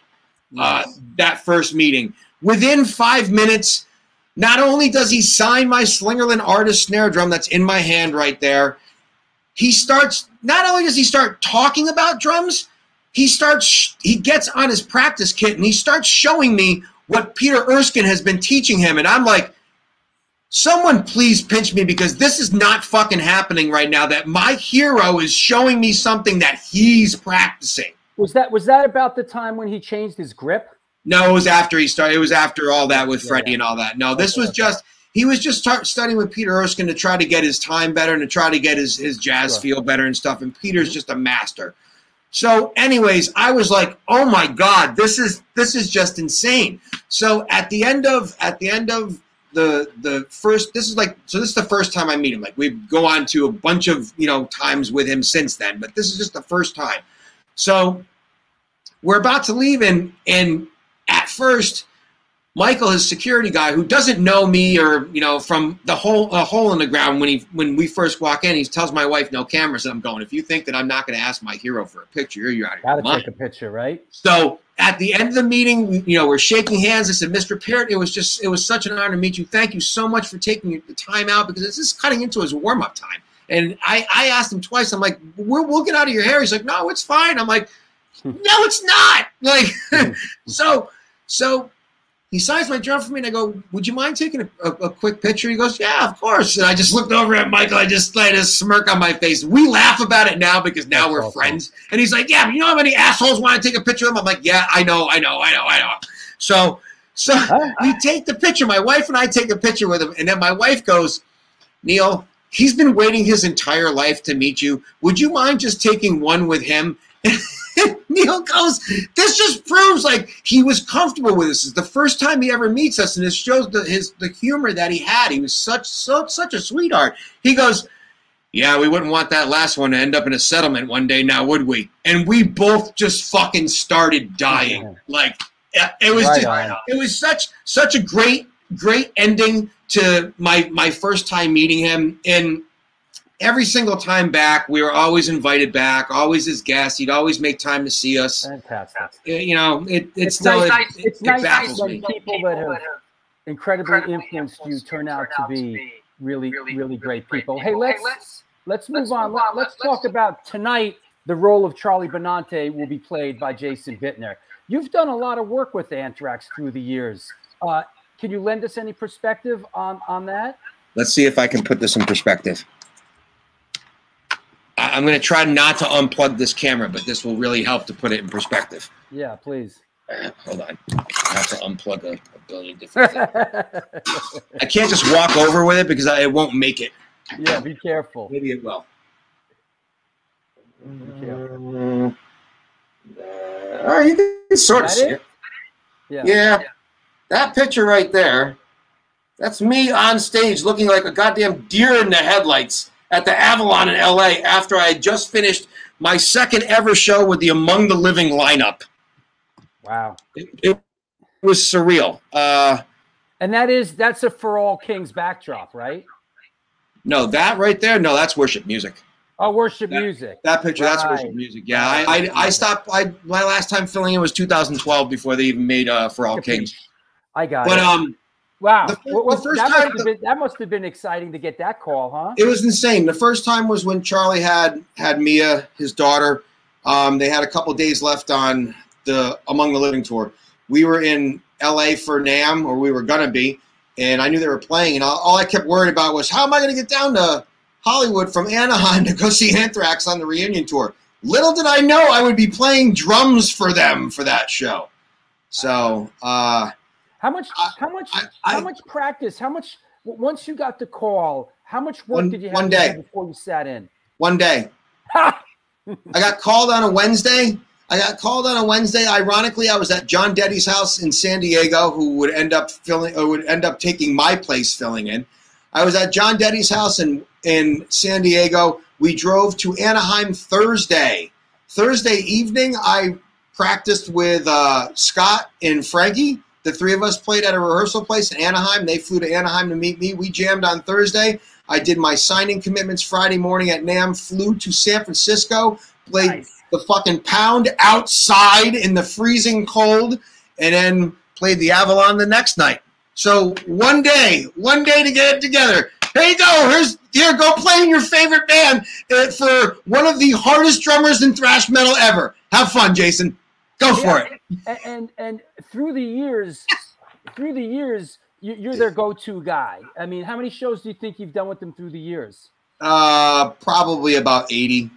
Wow. because I um I did you know those ones in 2006, Yep. and then I was back again in 2008 to do some South American shows when Charlie's mom passed. Yep. Um, 2012 I did the whole Mayhem Fest, then followed by a whole Canadian U.S. tour, and almost a full European tour. But then uh, then things changed, and uh, I went back to Shadows Fall, and then shortly after John would join Anthrax. Yeah. So, so, so the, the, the guitar player for Shadows Fall plays lead guitar in Anthrax now. Yep. correct? Yep. Have you done any? Sh- have you done any shows with him yet with Anthrax? Yeah, yeah, we Yeah. did. We actually played. We still. We actually played a few shows as Shadows Fall. We had a. We still had a tour. We did a, a tour with them basically. Uh, John doubled down for for that, but we also Oh. played some. But we also played some shows where we had a fill in, and John was playing in Anthrax. Got it. Um, Yeah. let's, talk, about. I, want to jump ahead to. The, I want to jump ahead to the present day. You were Um, talking about you're you were mentioning Biohazard at the top of the show, and I was like, I got to see Deluxe on Saturday. I was so fucking psyched. I put pictures. I put pictures up of us getting ready. Right now, I was just looking at it, and then I see Oh, Danny. he came to the show with his kids. no, he just he came with a couple of his buddies. Oh, right on. Oh, cause oh, cause he's real tight with um Sworn enemy. Pooch with Pooch from Sworn Enemy. Yeah. Yeah, yeah. So, uh, so he goes, "I'll see you soon." And so I text him. I'm like, "Are you fucking coming tonight?" He's like, "Yeah." I was like, "Yes." So I told. So we had Phil Demmel. You know, used to be a machine head, was filling in for us. Yeah, was filling in for. Dave, and I told Phil, I go, "Dude, Danny Schuler's downstairs." He goes. Dude, I haven't seen Danny since. And I go, let me guess, Soundwave 2012 when we were all there together, which was a fucking Australian tour. It was us, you know, he was in Machine Head, I was in Shadows Fall, and you know, Danny, of course, it was with Biohazard. But that's the last time we both had seen Danny physically. Yeah, a- absolutely. And Bio has yeah. Shout out, shout out to Deluxe. Yeah, a- a- absolutely. I want, I want to, I want to go to the present. Um, and address the Yes, yes. present day. Yep. Um, hold on, I'm, I'm, I'm moving some stuff around here. Let's talk about.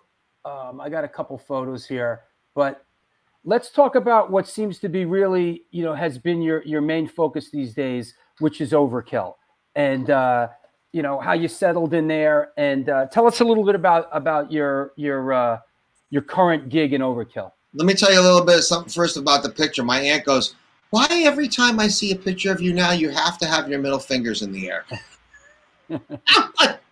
I'm trying to explain my aunt. This is this is not mean. This is like our thing. Like it's really like this is like this gesture of happiness. Right. this is this is a good this is a good thing. Really, it is. Oh, this is this is the efforts of me being a thorn in Bobby Blitz and Dee Dee Verni's side since 1993. We laugh did about you, this Did you always? this Did you? Were you always a fan of this band? Did you? I've been an Overkill fan since 1986. Since the first time I heard "In Union We Stand" on WRUC Union College Radio, I was like, I like this band. What I thought stuck out was they sounded different, and the singer was a little was a little different. I love Bobby Blitz. You either like his voice or you don't. It, there's Yeah. no in between. There's no well, some songs I like. No, you either like his voice or you don't.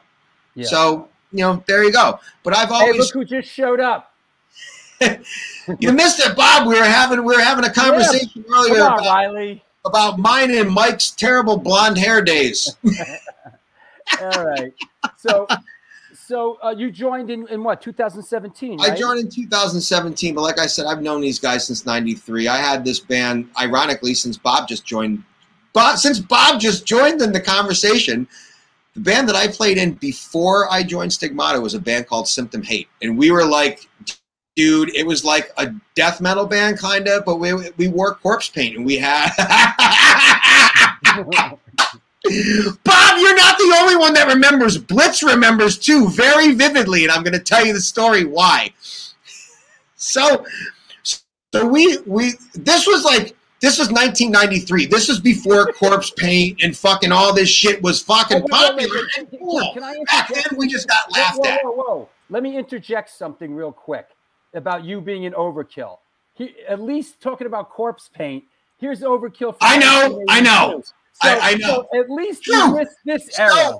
And and here's another tie-in. The guy all the way to the left That's Dan Spitz. When when I joined Overkill, and that picture I showed you earlier up on the wall, that's me and Spitzy when, when I first played with Anthrax. When I first joined, when I first joined Anthrax or joined Overkill, I got a text from Danny that said, "Congratulations, you've now been in both of my bands." now the key word is you've been in both of what bands? My bands. I took a screenshot of the text and I sent it to Scott and Charlie, and I went, "My band." both, both fucking dying. Yes, says we guys we had have paper mache skulls on stage. So, anyways, so I'm playing in this corpse paint band, and we open up for Overkill. Now, I had met Blitz and Dee Dee years prior at a Slayer show in, in, in Poughkeepsie, okay? And they remembered me from whatever reason, probably because I was a pain in the ass. So 1993, I'm on the side of the stage and I go, Will you please, please check out my band? Please check out my band. And Blitz is like, Yeah, sure, kid, whatever. You know, I'll check out your band, sure. They both said they would. And I'm going, Yeah, bullshit. They're not going to do it, right? So, and I played a lot of drums in this band, a lot of double bass, a lot of fucking, you know, look at me go, look at how fast I can play. So the 23 year old kid is just fucking doing his thing. So I'm playing 15 minutes to the set. I fucking look over and Blitz and Dee are standing right fucking there. And that's when all, all of a sudden, like a, like you know, the little, oh, they're actually watching. Holy shit! So now, fast forward to the end of the show. 15 minutes later, we got you know our 20 minutes on stage, and they kicked us out the back door with my gigantic drum set. so now I'm outside, you know, tearing my shit down with corpse paint fucking melting off my face. Blitz is out there smoking a cigarette, drinking a beer. Hey, kid, good job. You know, so now I joined the band and like he just he still remembers all this shit because he's like a fucking elephant. He remembers all the stories. And every time someone goes, You've known Jason that long, he'll go, he goes, I remember him standing on the side of the stage, tearing all his fucking drums down with corpse paint running off his fucking face.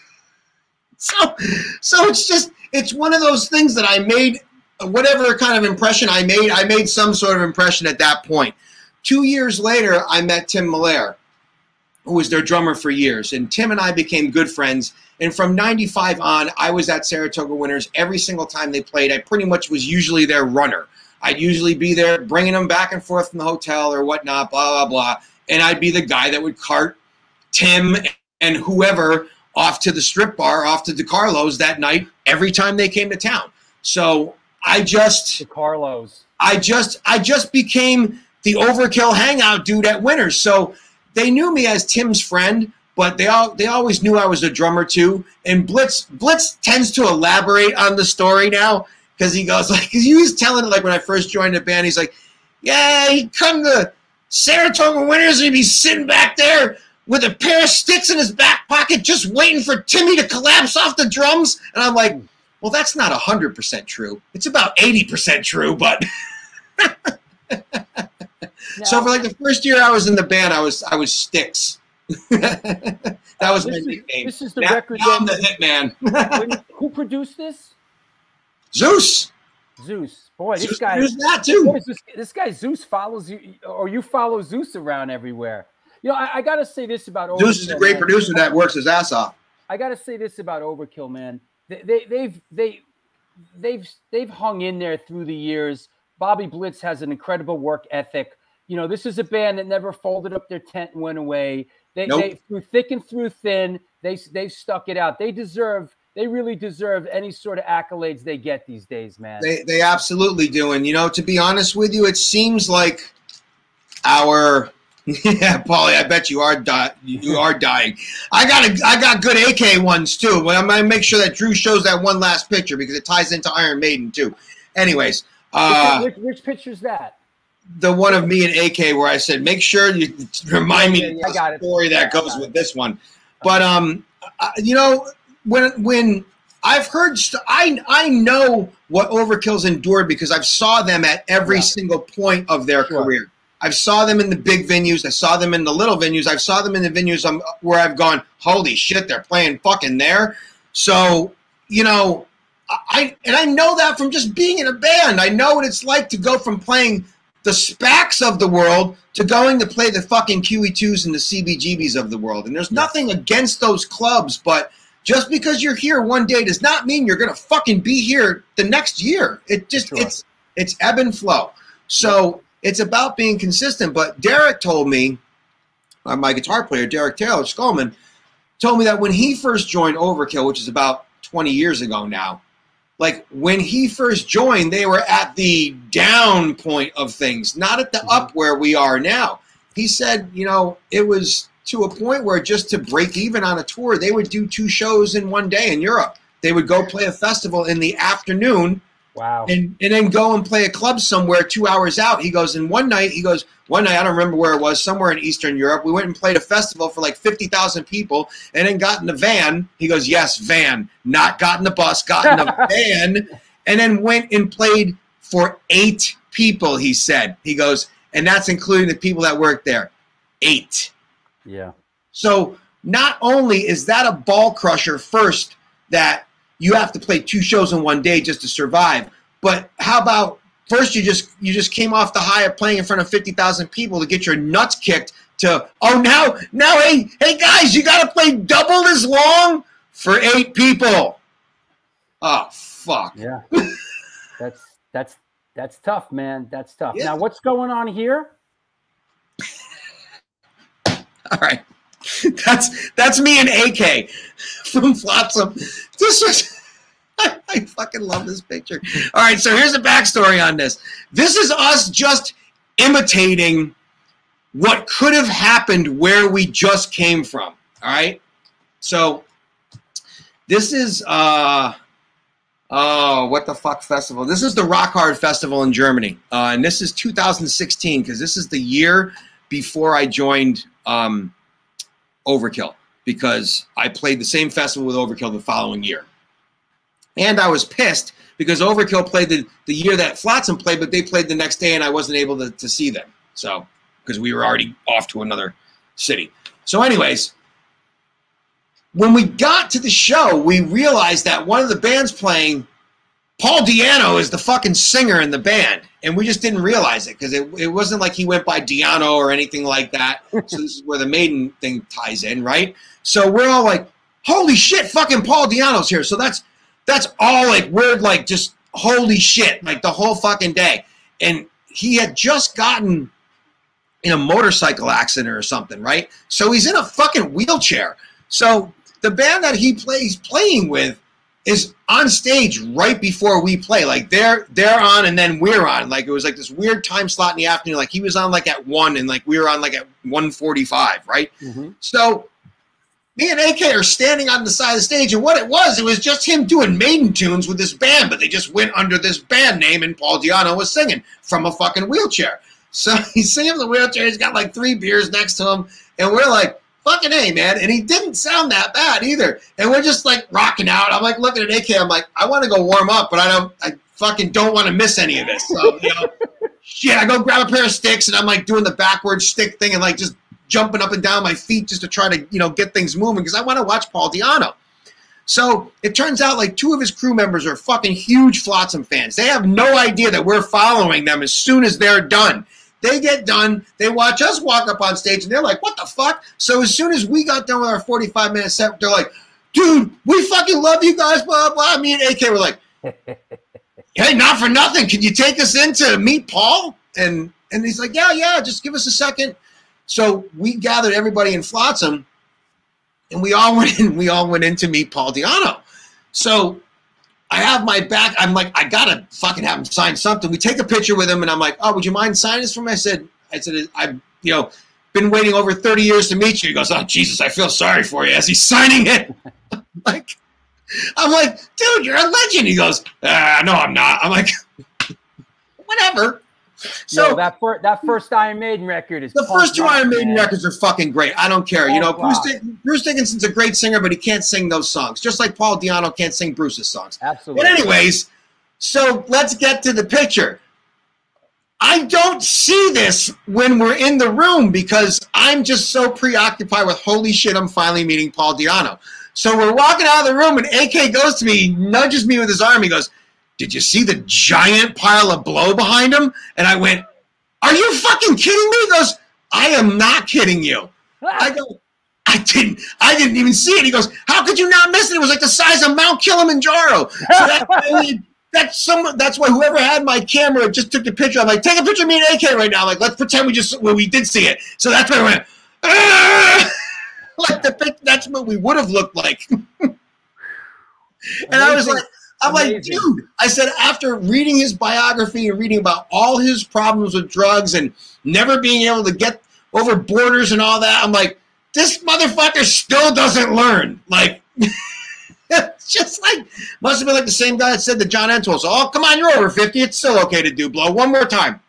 John Entwistle, and John Entwistle went out with his boots on in Vegas, you know? I know, but it's like, dude, like, there, there comes a time, like, all right, there's there's some drugs you, you got to put it down, guys. It's not. There's an age limit to. You, you, don't got to tell me about it. I've been clean and sober for almost 13 years this, now. This this shit's got to stop, man. You know, it's like, oh my god. Yeah, it's like, crazy. I hey, drink me, two cups of coffee do, right uh, now. let me do my uh, final sponsor shout out, and uh, let's and we'll come back and we'll take questions from around the world. Okay. Well, there you have it. This is the New York Hardcore Chronicles Live, and our guest today is our old friend Jason Bittner, currently of Overkill and Shadows Fall, Stigmata and Flotsam and Jetsam, Crisis, and a couple others. We are sponsored by New York Hardcore Comics, The Organic Grill, the Texas Silver Rush, Chain Reaction Records and Skateboards, DTFM Vinyl Distro, Generation Records, and Located in Corpus Christi, Texas, Chacho's Tacos opened their doors in 2001, home of the almighty Chacho's Taco. They cook up an incredible homestyle Tex Mex food, and this month they're celebrating their 20th anniversary. They've been supporting underground music since the beginning. In their own words, we ain't stopping anytime soon. Touring bands that play Corpus Christi swing by and get a home cooked meal at Chacho's Tacos. We got you. The underground scene will never die. Please follow us on Facebook or on Instagram. Yo, what's up? Chain Reaction Records and Skateboards, located in Lakewood, Colorado, is the Rocky Mountain headquarters for all things punk, hardcore, and believe it or not, my friend, metal. Established in 2014, they have the largest selection of CDs, shirts, stickers, patches, and accessories between Chicago and Los Angeles. Goddamn electric. From the pit to the ditch, they got your back. Get in touch with them at www.chainreactionrecords.com. Also, New York Hardcore Comics opened there in 2013, selling comic books, punk rock, and hardcore memorabilia, toys, statues, skateboard decks, tapes, vinyl, and all things horror. We love helping bands push their demos and new tracks, so please stop by and drop off your new music. We have in store events like Magic the Gathering and Warhammer tournaments, plus meet and greets with bands and some live performances. Open seven days a week and shipping worldwide. Find us online through Instagram, Facebook, Twitter, and eBay, located at 117 Main Street, Lovesley, Dobbs Ferry, New York, www.newyorkhardcorecomics.com. Also, while we're at it, I want to shout out um, New York Hardcore Comics. Uh, I did a book signing up there uh, last, uh, was that on Saturday, a couple days ago. It was great. I want to thank them for hosting this uh, event. It was really nice. We had some great homemade Italian food. Uh, it, it was really great. Bunch of people showed up. Uh, they have been inc- since the beginning of the show. Uh, New York Hardcore Comics has been on board as a sponsor. Honestly, uh, this show would not exist without them. Uh, here's the two guys from Ape, uh, Logan and Kevin, uh, giving the book a read. Uh, so thank you everybody that has. Um, yes, the signing at New York Hardcore Comics was great, and the Italian food was fantastic. My light, my mic is low. My mic is never low. How can my mic be weird? Weird stuff on the show today. I'm not sure. A couple volumes are up and down. Um, so I, I apologize.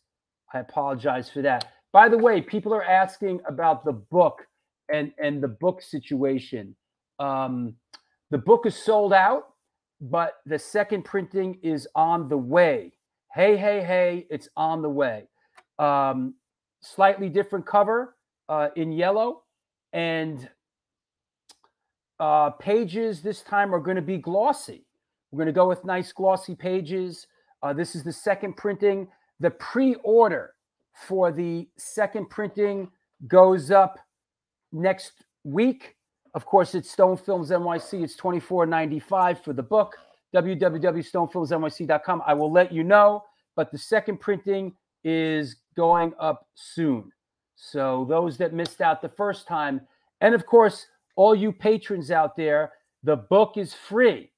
If you are a patron, the book is free. All you have to do is is pay for the um, pay for the shipping. That's right, the shipping. It's seven dollars uh, for domestic, uh, twenty four dollars I think for for for international. If you are a patron, the book is free. Please support this show via Patreon. That is why we're still doing it. Listen, as much as I've said this, as much as you've heard it, it's the God's honest truth. You know, your support through Patreon has enabled this show to happen 160 episodes in. I want to shout out a couple uh, of my latest patrons Terrence Colinane, uh, Brendo Cato, Chris Goldbach, Sebastian Gorgone uh, out in Long Island. I want to thank you all. Um, yo, the postage the postage to the UK for the book is 24 bucks. It's expensive. I don't run the friggin' postal service, so I don't want to hear about it. It sucks. As a matter of fact, if you want to order this book, order it from Cortex in Germany. Uh, they they're getting um, they're getting a whole bunch of more books in Europe. If you don't want to pay the 24 bucks for shipping, order it from Cortex. Uh, that's my suggestion to you. And yeah, thank you, Lori. I'm not low. Jason's very loud. So, um, yes, thank you. This show's the easiest thing to support. We love you, Jew. I love you guys too, and and and thank you. Uh, while we're going on, I just want to mention the next, the next, next four shows uh, coming up. You know, how many freaking drummers do we get? It's like this show's like a freaking drummers collective. I swear to God. You know, you know, why do we end up with so many drummers on the show? Wednesday, December 8th, Michael McDermott from Joan Jett and the Blackhearts, uh, formerly of Bouncing Souls and Murphy's Laws on the show. Sunday, December 12th, This is Boston, not LA 40th anniversary with Bob Cenci from Jerry's Kids, drummer Bob Furapples from the FUs, and drummer Brian Betzger from Jerry's Kids and Gangrene. Sunday, December 19th, Kevin Seconds from Seven Seconds. Come on now.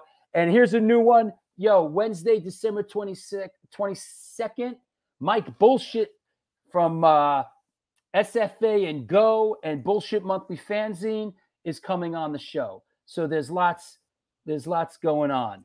Um, oh, you got the book this morning, Laurent? Good, buddy. I'm glad. Listen, a couple people are reaching out like, "Where's my book?" Fucking postal service is a goddamn mess in this country. So, you know, um, you know, be patient. Be patient, my friends.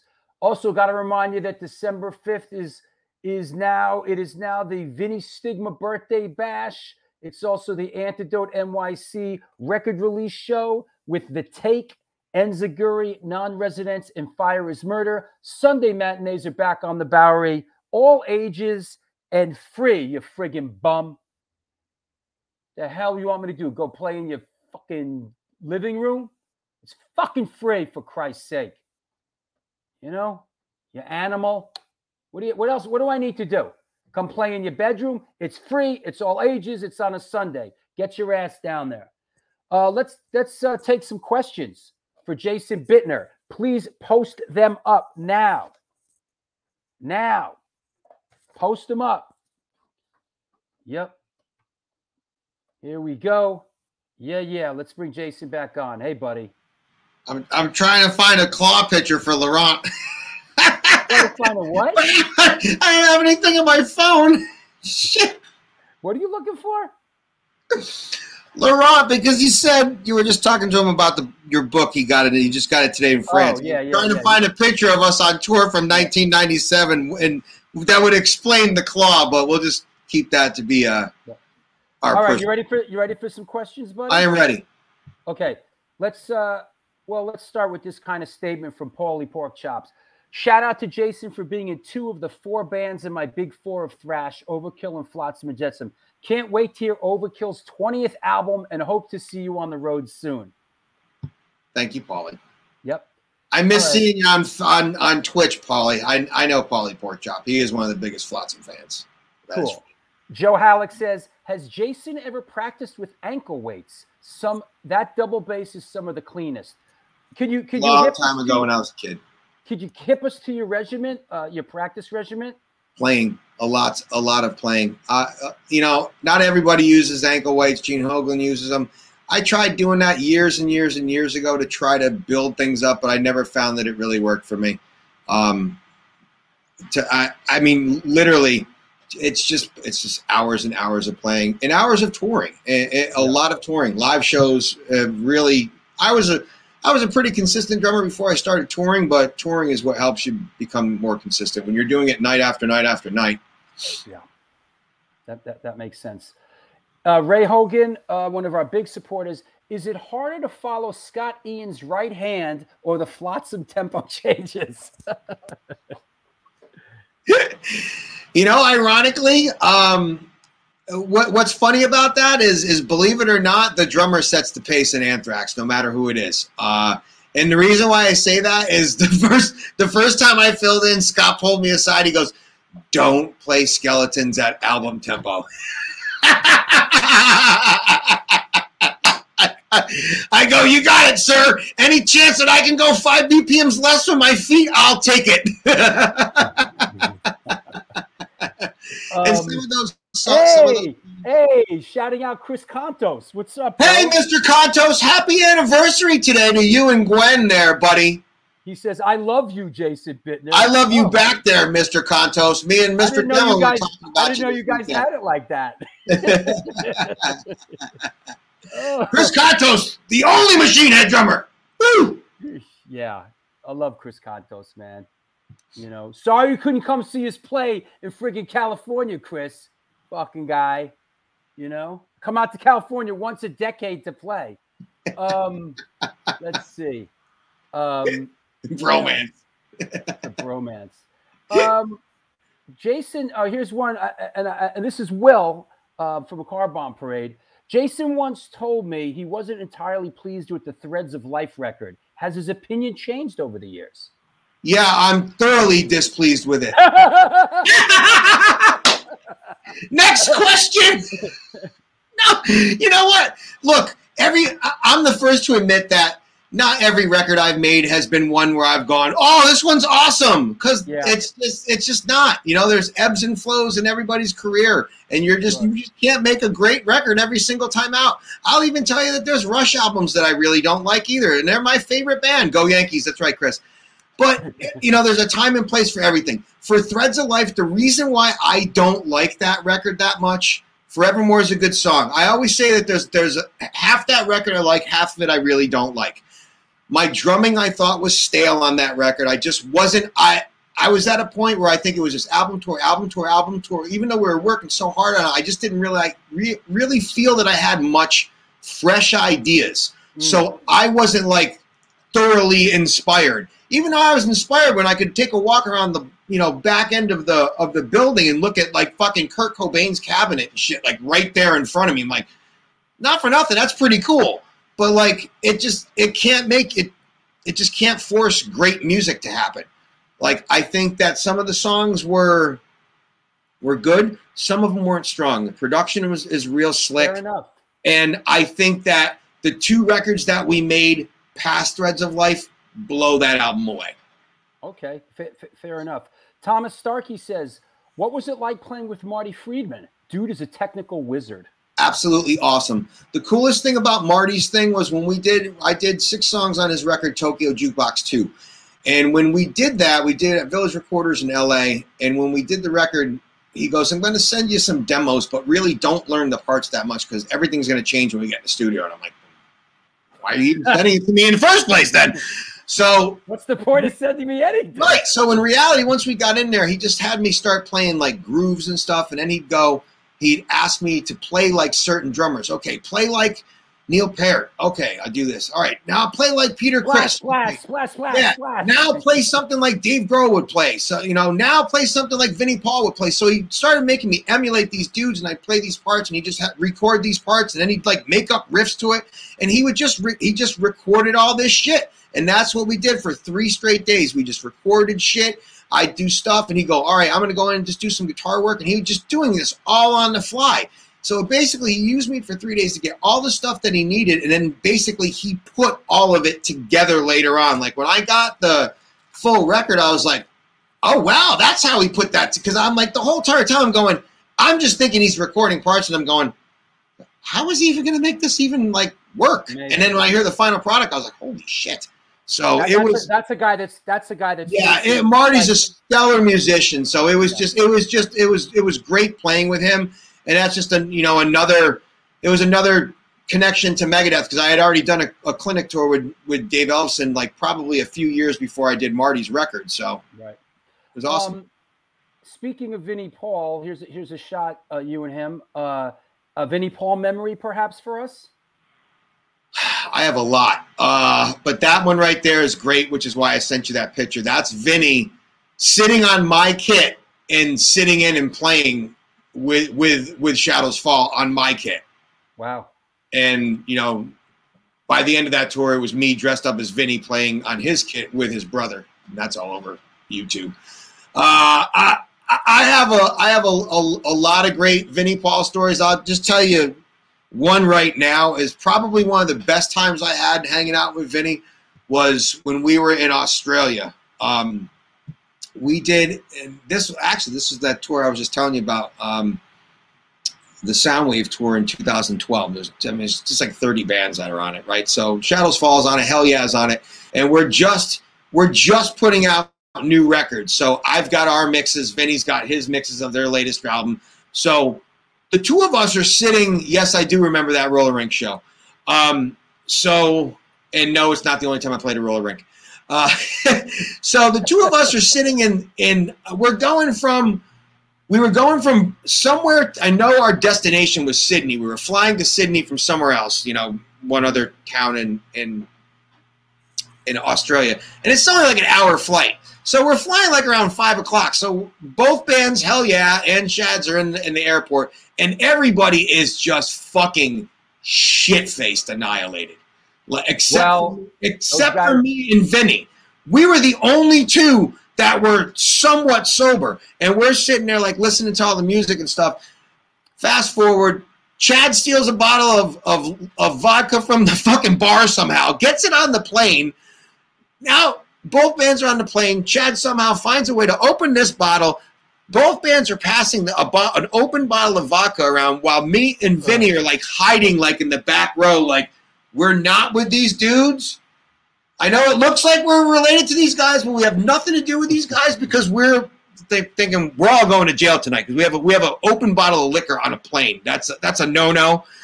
Somehow we didn't get caught, but everybody by time we landed, got back to the hotel, everybody in all the bands were just they were done. Like as soon as they got the room keys, passed out, you know, in bed. It's like seven thirty. Me and Vince, the only ones sort of sober. Yeah, and we were pretty sober. Sober enough to realize that it's time to go get dinner. Literally walked around the corner, sat in a nice little Italian restaurant, had a nice dinner, just the two of us, went back to the hotel, nice sleep, played the show the next day. So it was one of those stories where, yes, I've got tons of of them where it's us partying, but this was like the one where we really weren't partying.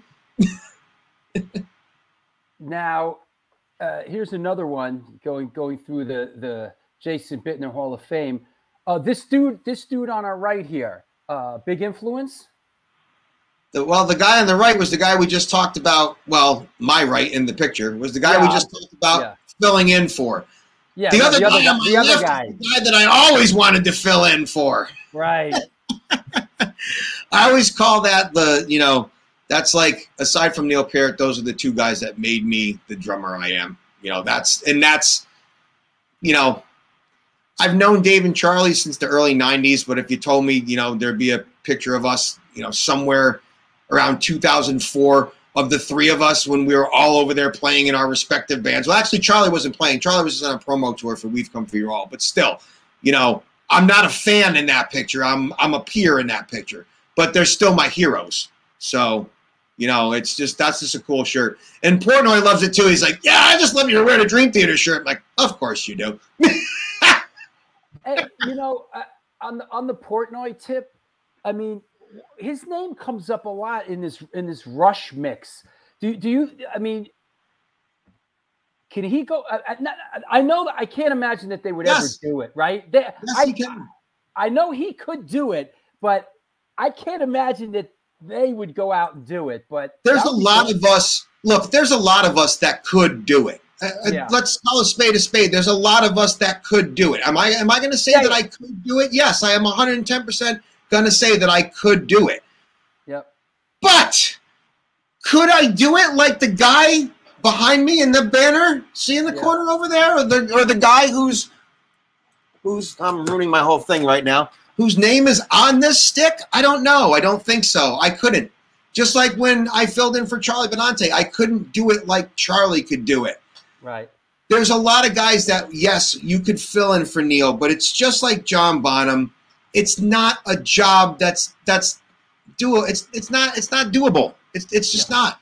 Yes, Jason could fill in for John, and now Right. let's let's wait another 15 years or so until Olivia Peart gets to be, you know, 24, 25. Maybe she will be as good as her father was. But Right. until then, I don't I don't want to see anybody else in that chair. I really don't. And that's no disrespect to Mike. And I I know Mike would probably I know Mike well enough that Mike will probably tell you the same thing. Yeah. You know, we all we all would love to secretly be in a room with those two guys just to play some of those songs. We all would love to do that and have video for our own personal viewing. But anybody who actually would get in the room with those guys and then go on stage with them, well, get ready for this because here comes the bullseye because it's right on your head. Nope. Hey, hey, here's a here's a good one. Uh, Josh, uh, Joshua son, Joshua son. I would love to hear Jason talk about his time in crisis. I've never heard him mention it, and it's rarely mentioned. Period. All right. I'm I'm giggling a little bit because there's a reason why it wasn't mentioned for a long time because I had a lot of animosity towards just that name. I did. Um, and the reason why I, I pretty much I don't have that animosity and I don't and I and I feel free to talk about crisis now is because Afzaal and I became back to the the real close friends that we were when when I left that band in 98 well after 20 years we're back to being that close again and it was after we were able to rekindle our friendship and after I realized that a lot of the animosity that I thought I had towards Afzaal and Karen was not was not Afzaal's fault at all. It was her fault, and he was her boyfriend. And he, when you're in a relationship, I'm sorry, you're you have to if you want to stay with the girl, of course. Well, yeah, the drummer's an asshole. The drummer's got you know, yeah, let's get rid of him, or yeah, I'll back you up on whatever you say. I'll say it about him too. But after we had a heart to heart, and I learned a lot of things that about the past, I let those bygones be bygones and realized that we were much better off being friends and, and us working, going ahead with our personal futures. And I think it's great that he's writing music with Fred again. And I've even we were even talking about me playing some percussion and stuff on it again. Now, now you played on you played on the yeah, Chris. You, you know, Chris. Yeah, exactly. Chris, yeah, Chris knows. And you you played on the Crisis record, a couple tracks on the Hollowing. I didn't realize that you were actually in the band that long and did that many live shows with them. Yeah, I did a, a, year of touring with them, six months with the Spudmonsters over in Europe, and then we did a tour with Fu Manchu in the States. Yeah, wow. A lot of drummers on that record, and you know, two of them being you know later becoming pretty notable guys with me and and Roy from Stone Sour. I mean, boy. first, yep, Roy was all. I mean, Roy only left. Roy would have been the drummer in that band. Roy was going to be the drummer in Crisis, but he literally he got the call at the studio when we were all doing drums from Max. Hey, you want to join Soulfly? He literally told us there. It literally it happened there, and literally it was like, all right, well, I guess Roy's going to move to Arizona, so it was like, all right, do you want to be the drummer? I'm like, all right, I guess I'll be the drummer then. that's literally what happened. Hey, shouting out Hoya from Madball and the and the spoken hey. word and the spoken word podcast. Uh, gotta say, yo, best show out there. You think this show's good? Hoya's the man. I, I love, I tune in any chance I get to Hoya. I got to bring it back on the show. Uh, he speaks, he's, Hoya speaks a language I can understand. He's a real New York hardcore soldier. Also, want, want to shout out um, our friend, Mr. Uh, uh, uh, Paris Mayhew from Cro-Mags and his new job and his new um, band Aggro says Stewart Copeland. Yeah, we, we, talked a little bit a little bit about Hi Paris. I haven't seen Paris probably in 25 plus years. Probably the last time when Stigmata played a show with one version of the Cro-Mags or another. Yeah. Yep. shit. Yeah, Hoya. Fucking love you, bro. Um, yeah, yo, Par- Paris's new stuff is great, man. It's re- it's really good. Um, that said, hey, let's um, this uh, Paris says, "What up?" Um, you know, here's a guy that gets a lot of heat for his drumming, man. And uh, personally, uh, you know, I've worked with him. Uh, you know, he's in he's in the film I did a couple years ago. Who the fuck is that guy? The Fabulous Journey of Michael Alago. He was very gracious. Um, why does this guy catch so much heat uh, for his drumming, and, and what's your take on it?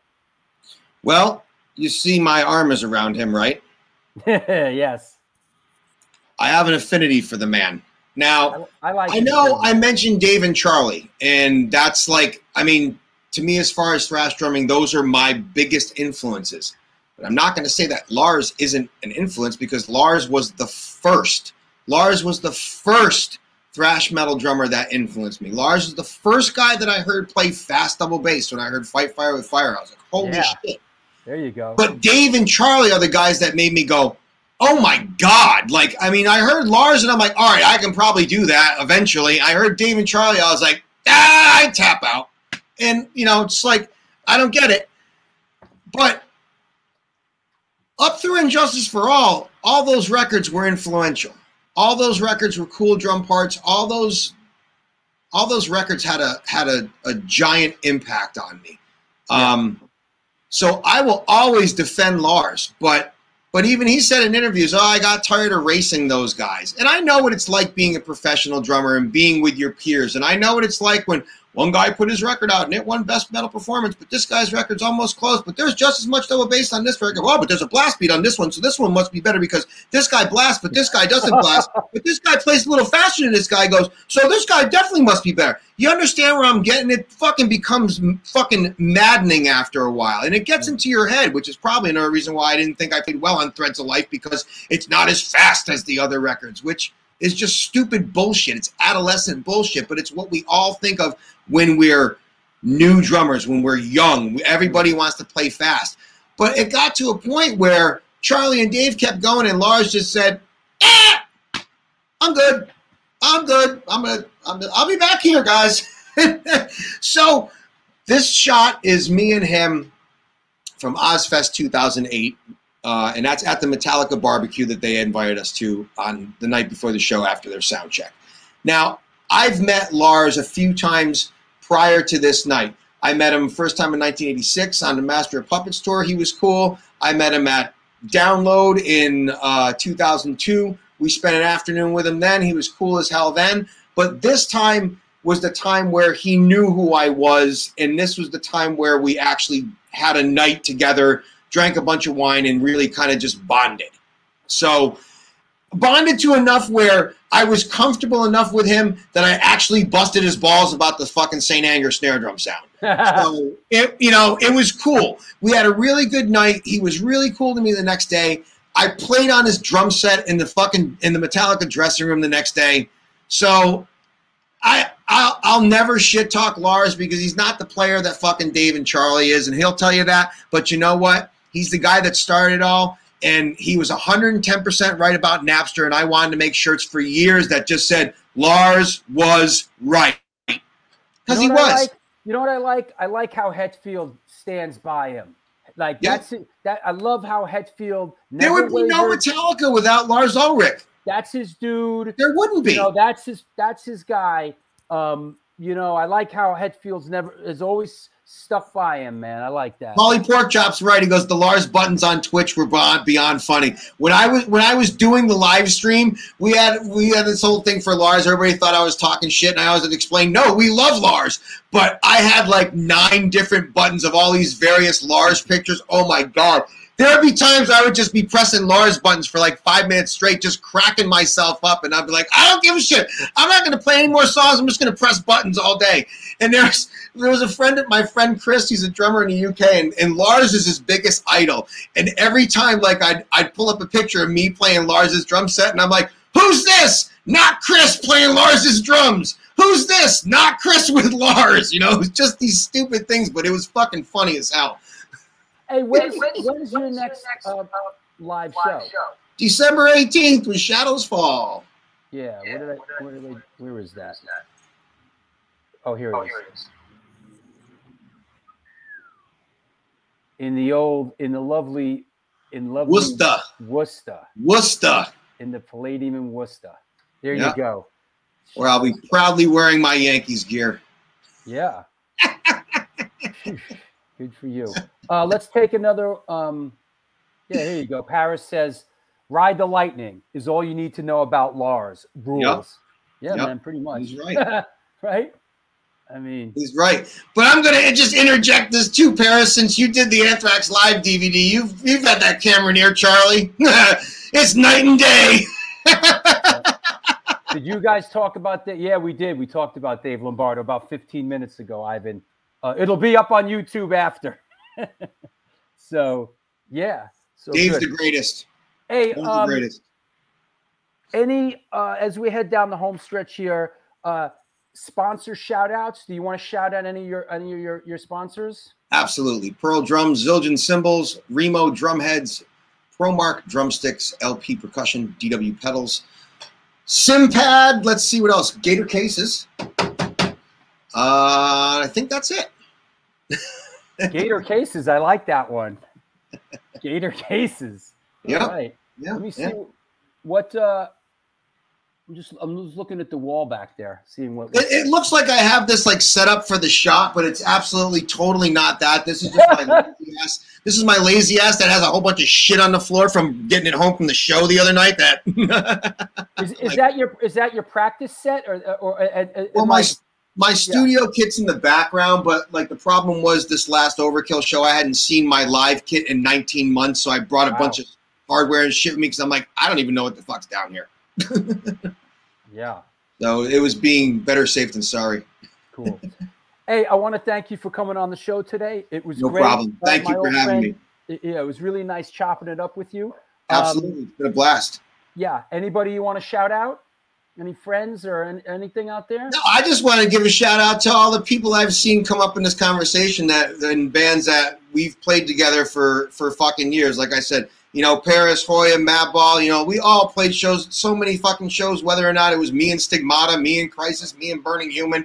Usually a lot of it was Stigmata or Shadows Fall. It's just it's nice to, you know, see those people out there again. Of course, fucking Mr. Chris Kontos still chiming in there. One of my one of my very, very, very good friends. Good. Well, I wish I wish you all the best. And uh, Paulie says, "Great show. Thanks, Drew, Jason, yes, Stephen, and Ratbones." And uh, listen, I'll track you down one of these days. I'll let you know. I'd love to come see you play live. Anytime, man. Anytime. All right. Have a good night. I'll talk to you soon. Thank you. My pleasure. Well, there you have it. The New York Hardcore Chronicles Live. Our guest today was Jason Bittner from Shadows Fall, Flotsam and Jetsam, Overkill, Stigmata, Crisis, a real hard-working career drummer uh, who really, who's really done well for himself. Has slogged it out for years uh, in the trenches uh, in upstate New York, and and got that call and, got the break and got that break that we all dream of. So we're so happy for him and and everything uh, you know uh, that that he's done. Laurent, glad you got the book. Uh, we love you out there in France. Uh, D, thank you. Um, what else? Kevin Heggs, thank you. Appreciate it. Oh, you know what? I just want to remind everybody. Uh, it was real quick. Let, let's do let's do the next four shows again. Uh, coming up on Sunday is Veronica from Life of Agony, another drummer. This is like the drummer show these days. Uh, after that is Tom Soares, producer, engineer. Uh, we'll have a lot to talk about with this dude. Then the notorious, infamous, controversial Dave Ellefson from formerly of Megadeth and The Lucid and Altitudes and Attitudes. And then uh, Mark Nickel from MAD Tour Booking. So got lots of great stuff, uh, lots of great stuff coming up.